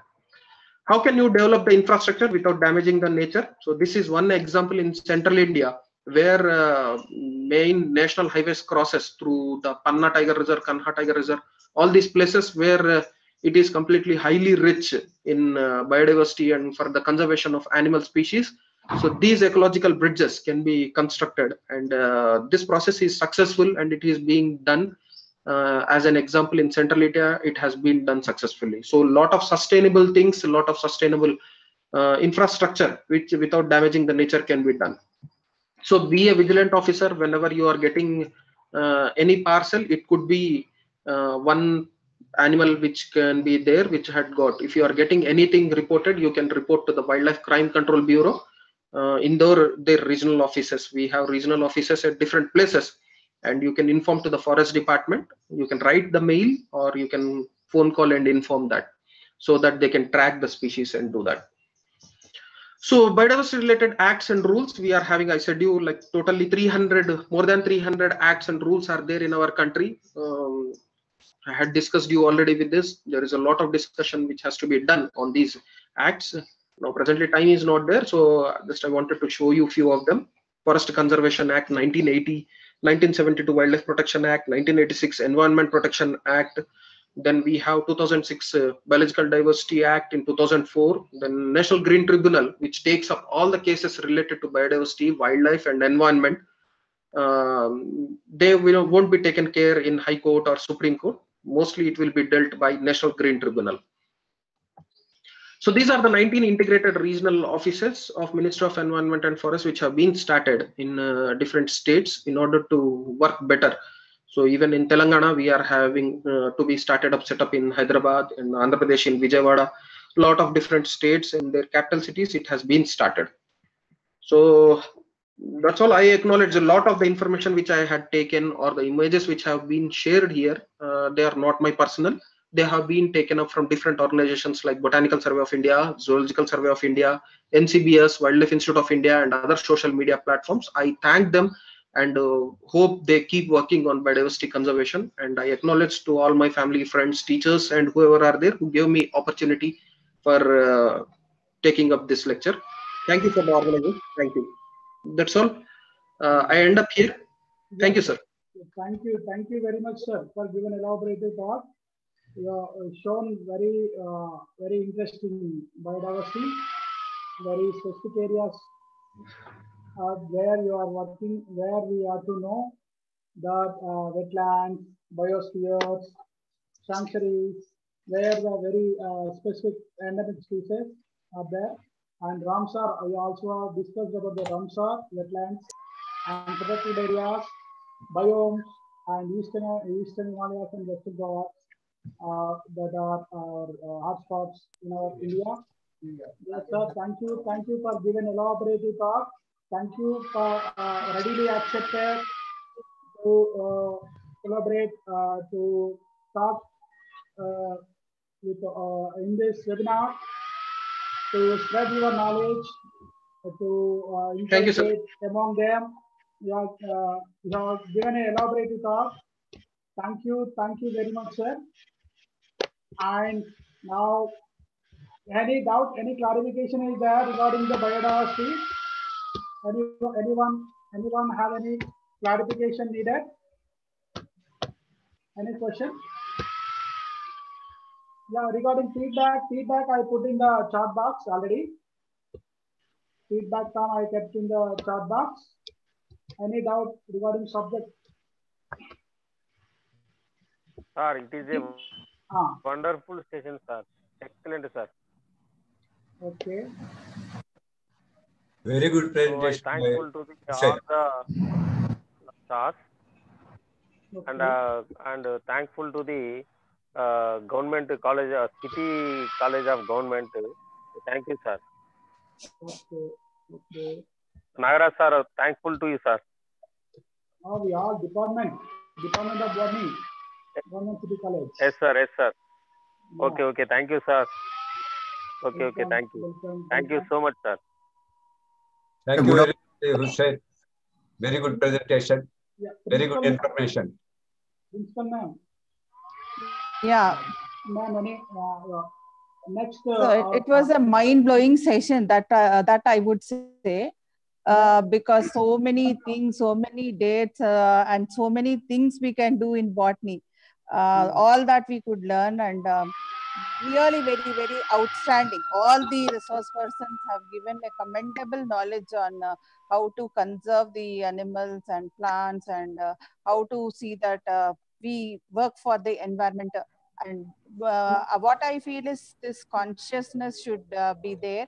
And bio, we should all think about biodiversity and uh, work for the environmental uh, balance so that uh, best things may happen to this earth and world Ma'am, sorry to interrupt you. Ma'am, ma'am, Nagaraj sir in- and all the uh, faculty members for uh, their conditional unconditional support yeah Madam, madam, please, uh, please uh, introduce uh, the director, uh, uh, head of the office, BSI, ma'am. Okay, uh, sir, uh, Prasanna a sir. warm Prasanna welcome to you, sir. sir. Uh, hello. And uh. City College will uh, surely collaborate with you in uh, arra- arranging all such webinars and uh, may the best things happen to both uh, uh, BSI and City College, sir. So indeed, uh, I think the memorandum of understanding you have given and uh, we thank you for that. And uh, definitely we want to get associated more and more with your uh, BSI. Sir will talk now. while we will yeah, yeah, sure. Sir, sir, Prasanna sir, sir, you are welcome, sir. Uh, okay, okay, okay. Sir, sir. Uh, am I audible? Ah, yes, sir. Yes, sir. See, first Yes, of all, sir. uh, at the outset, let me cordially congratulate the City College for organizing this kind of webinar by involving all the students because they are the people who take this uh, concepts and ahead for our uh, nature. Another thing, I would like to emphasize here the topic is emerging aspects of taxonomy and biodiversity. It is uh, very well covered by all the three speakers and our Rasingam, our Nagara, our uh, Swamy, and uh, Shaik Hussain. Very elaborately, they have covered all the aspects. But here, what we have to realize, our, our policy makers have to get awakened to save our biodiversity. Unless there is awakening in the policy makers and these developmental activities, what biodiversity we are having, rich biodiversity projected by our Hussain, which will not remain forever. This will slowly decline and a stage will come where we have to repent that we have lost so many species. This has to be arrested and for this, students have to get trained.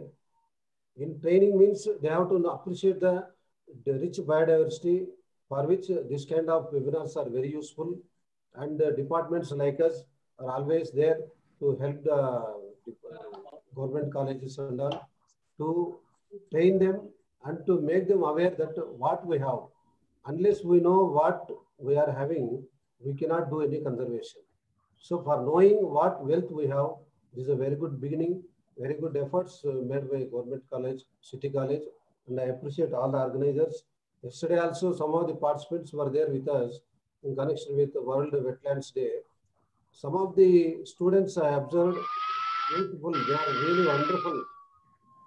They are the backbones of our country, like that uh, I could observe. And uh, we have to promote this youth to conserve this biodiversity. Before conserving, as I told you, should, they should know that what we have. In this respect, this webinar is a grand success. And again, from Botanical Survey of India, I promise that all of you are welcome and know what knowledge we have, we, will, we are ready to share with you. What kind of resources we have, we can use them. And we should uh, be helpful to the public in the posterity. Posterity should always appreciate what are the things we have conserved for them. So with this message, uh, once again I appreciate all the city college organizers, principal, Vijayalakshmi Madam, Dr. Nagaraju, and all others, and uh, all the three speakers. Wonderfully, they have presented my personal appreciation to them. And other colleges should also emulate to conduct such kind of webinars so that we can uh, publicize our bi- biodiversity. I am seeing so many participants, nearly 160, 170 participants were there. They are patiently hearing. One more senior most, one Mrityunjay Rao, I was seeing. Yes. Very attentively, he was hearing everything. Really appreciable. And my personal appreciation to everybody. And uh, all of you are sir. welcome to our uh, sir. organization here. Hello. Sir, so, Great college. Uh, hello. Hmm. Who is that? With this, uh, let me conclude my valedictory speech. So now I request our Nagaraju to take over. Sir, thank you. Thank you very much, sir. Thank you for giving uh, chance to collaborate with you to conduct the webinar, sir. We are very much thankful to you, sir, on behalf of Botany Department, Government City College, Adamo, Hyderabad, sir. We are very, very uh, wholehearted thankful to you, sir.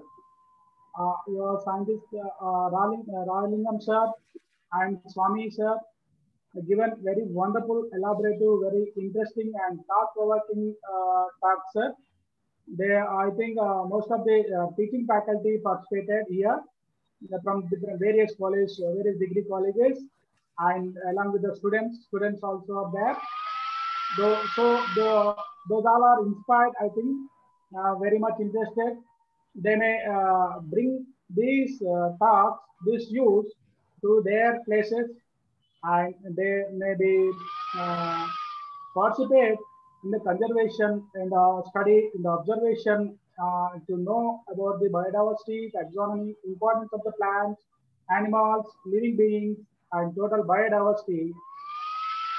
With this, they are known, uh, uh, most of the people known uh, by BSI, historical aspects of BSI, uh, what is going on, what you are doing, that all uh, explained by our Rallingham sir, uh, Rasingam sir, and also given the advanced uh, applied aspects of the plant taxonomy and recent uh, aspects of the preservation or publication of the uh, plants details and uh, publication of the journals and biota and herbaria preparation, how the herbaria is important. So we all uh, should conserve the nature. We all should uh, know about the nature. We all should know uh, the plants, which are very much useful. Without uh, knowingly, we are getting more and more benefit from the each and every plant, from the herb to large trees. The, and all the diversity, uh, our Hussain sir said, all the diversity which needed uh, to conserve, to protect, to uh, free living in the nature without any harmful effects. We need all the biota. We need, uh, we are in the so many days uh, to know, to make aware about the biodiversity, to make about, about the nature, uh, how they are important, how they are giving the importance, what they are, where they are, how we have to conserve, where we have to know, which one is uh, uh, endangered, going to endemic, which one is very uh, valuable, where we have to do, what we have to do, that all discussed very elaborately. And thank you once again uh, for giving this opportunity uh, to the uh, head of office, uh, Dr. P. Prasanna sir, and uh, Rallingham sir readily accepted uh, to talk. And J. Swamy sir uh, highly collaborated with me. Uh, I, whenever I asked immediately, he readily agreed. With, uh, uh, he has done the most uh, uh, benefit, uh, I think, to all the teaching faculty, those who are participated in this webinar. And we, uh, sir, with your uh, with your permission, we also will be uh, readily uh, collaborate with you, sir, uh, in the in future uh, with the workshop and uh, whatever it is herbarium preparation and identification. For all the purpose, we students are very much interested, sir. If we if you give any chance in future, we will conduct the workshop for the faculty, sir, in future. Uh, uh, on herbarium preparation or plant taxonomy, uh, families identification. So most of the staff they have forgotten uh, when they studied MSc they they know, but uh, due to lack of uh, time, most of the people faculty they may forgotten. That with your uh, effort, with your collaboration, we will uh, revoke their knowledge. I think. Uh, I think you will be given the chance to her, sir. Uh, sir, finally, uh, yesterday also our students have participated. You are given the chance. You are given the invitation to her, sir. Um, our students are very active, very uh, highly uh, actively participated. Our student Irfan, Nabila Irfan got the first prize in the presentation wetland day yesterday program. Uh, for that cooperation, uh, invitation also, we are very much thankful to you, sir, on behalf of Department of Botany, Government City College, sir. Uh, so we are, we will be uh, do our level best. We will do our uh, uh, Urta Bhakti to you. If any uh, needed help from us to elaborate, uh, to inculcate uh, in the knowledge, to spread the knowledge among the faculty and students, young aspirant minds, sir. We are very, very much thankful to you, sir. Now, Principal Ma'am, Yeah. finally, Uh, so uh, all the words what I wanted to speak, uh, you have already spoken. And uh, I think uh, definitely we will be collaborating with the BSI, sir, be, be it a workshop or be it a webinar or any exchange of knowledge, everything we are ready and we want uh, knowledge being spread far and wide. So City College always uh, believes in holistic education. We are for uh, environmental conservation and uh, maybe we will work uh, for the upliftment of all the downtrodden students in this way. So thank you for uh, arranging best of the webinar. I felt uh, and all the research persons were mind blowing. And once, uh, let me appreciate Nagaraju sir and again the uh, fac- uh, faculty members of uh, botany for their unconditional support in organizing this webinar. So thank you one and all and may the knowledge spread and let us collaborate and start sharing whatever you have and uh, let us work to preserve the earth and uh, may best things happen to our world. Thank you one and all. Signing off from City College, I think Nagaraj sir, we can end. Yeah, thank you all for giving uh, opportunity to uh, stay with you. Thank you all to who bear uh, with us uh, three hours. Thank you for making grand success.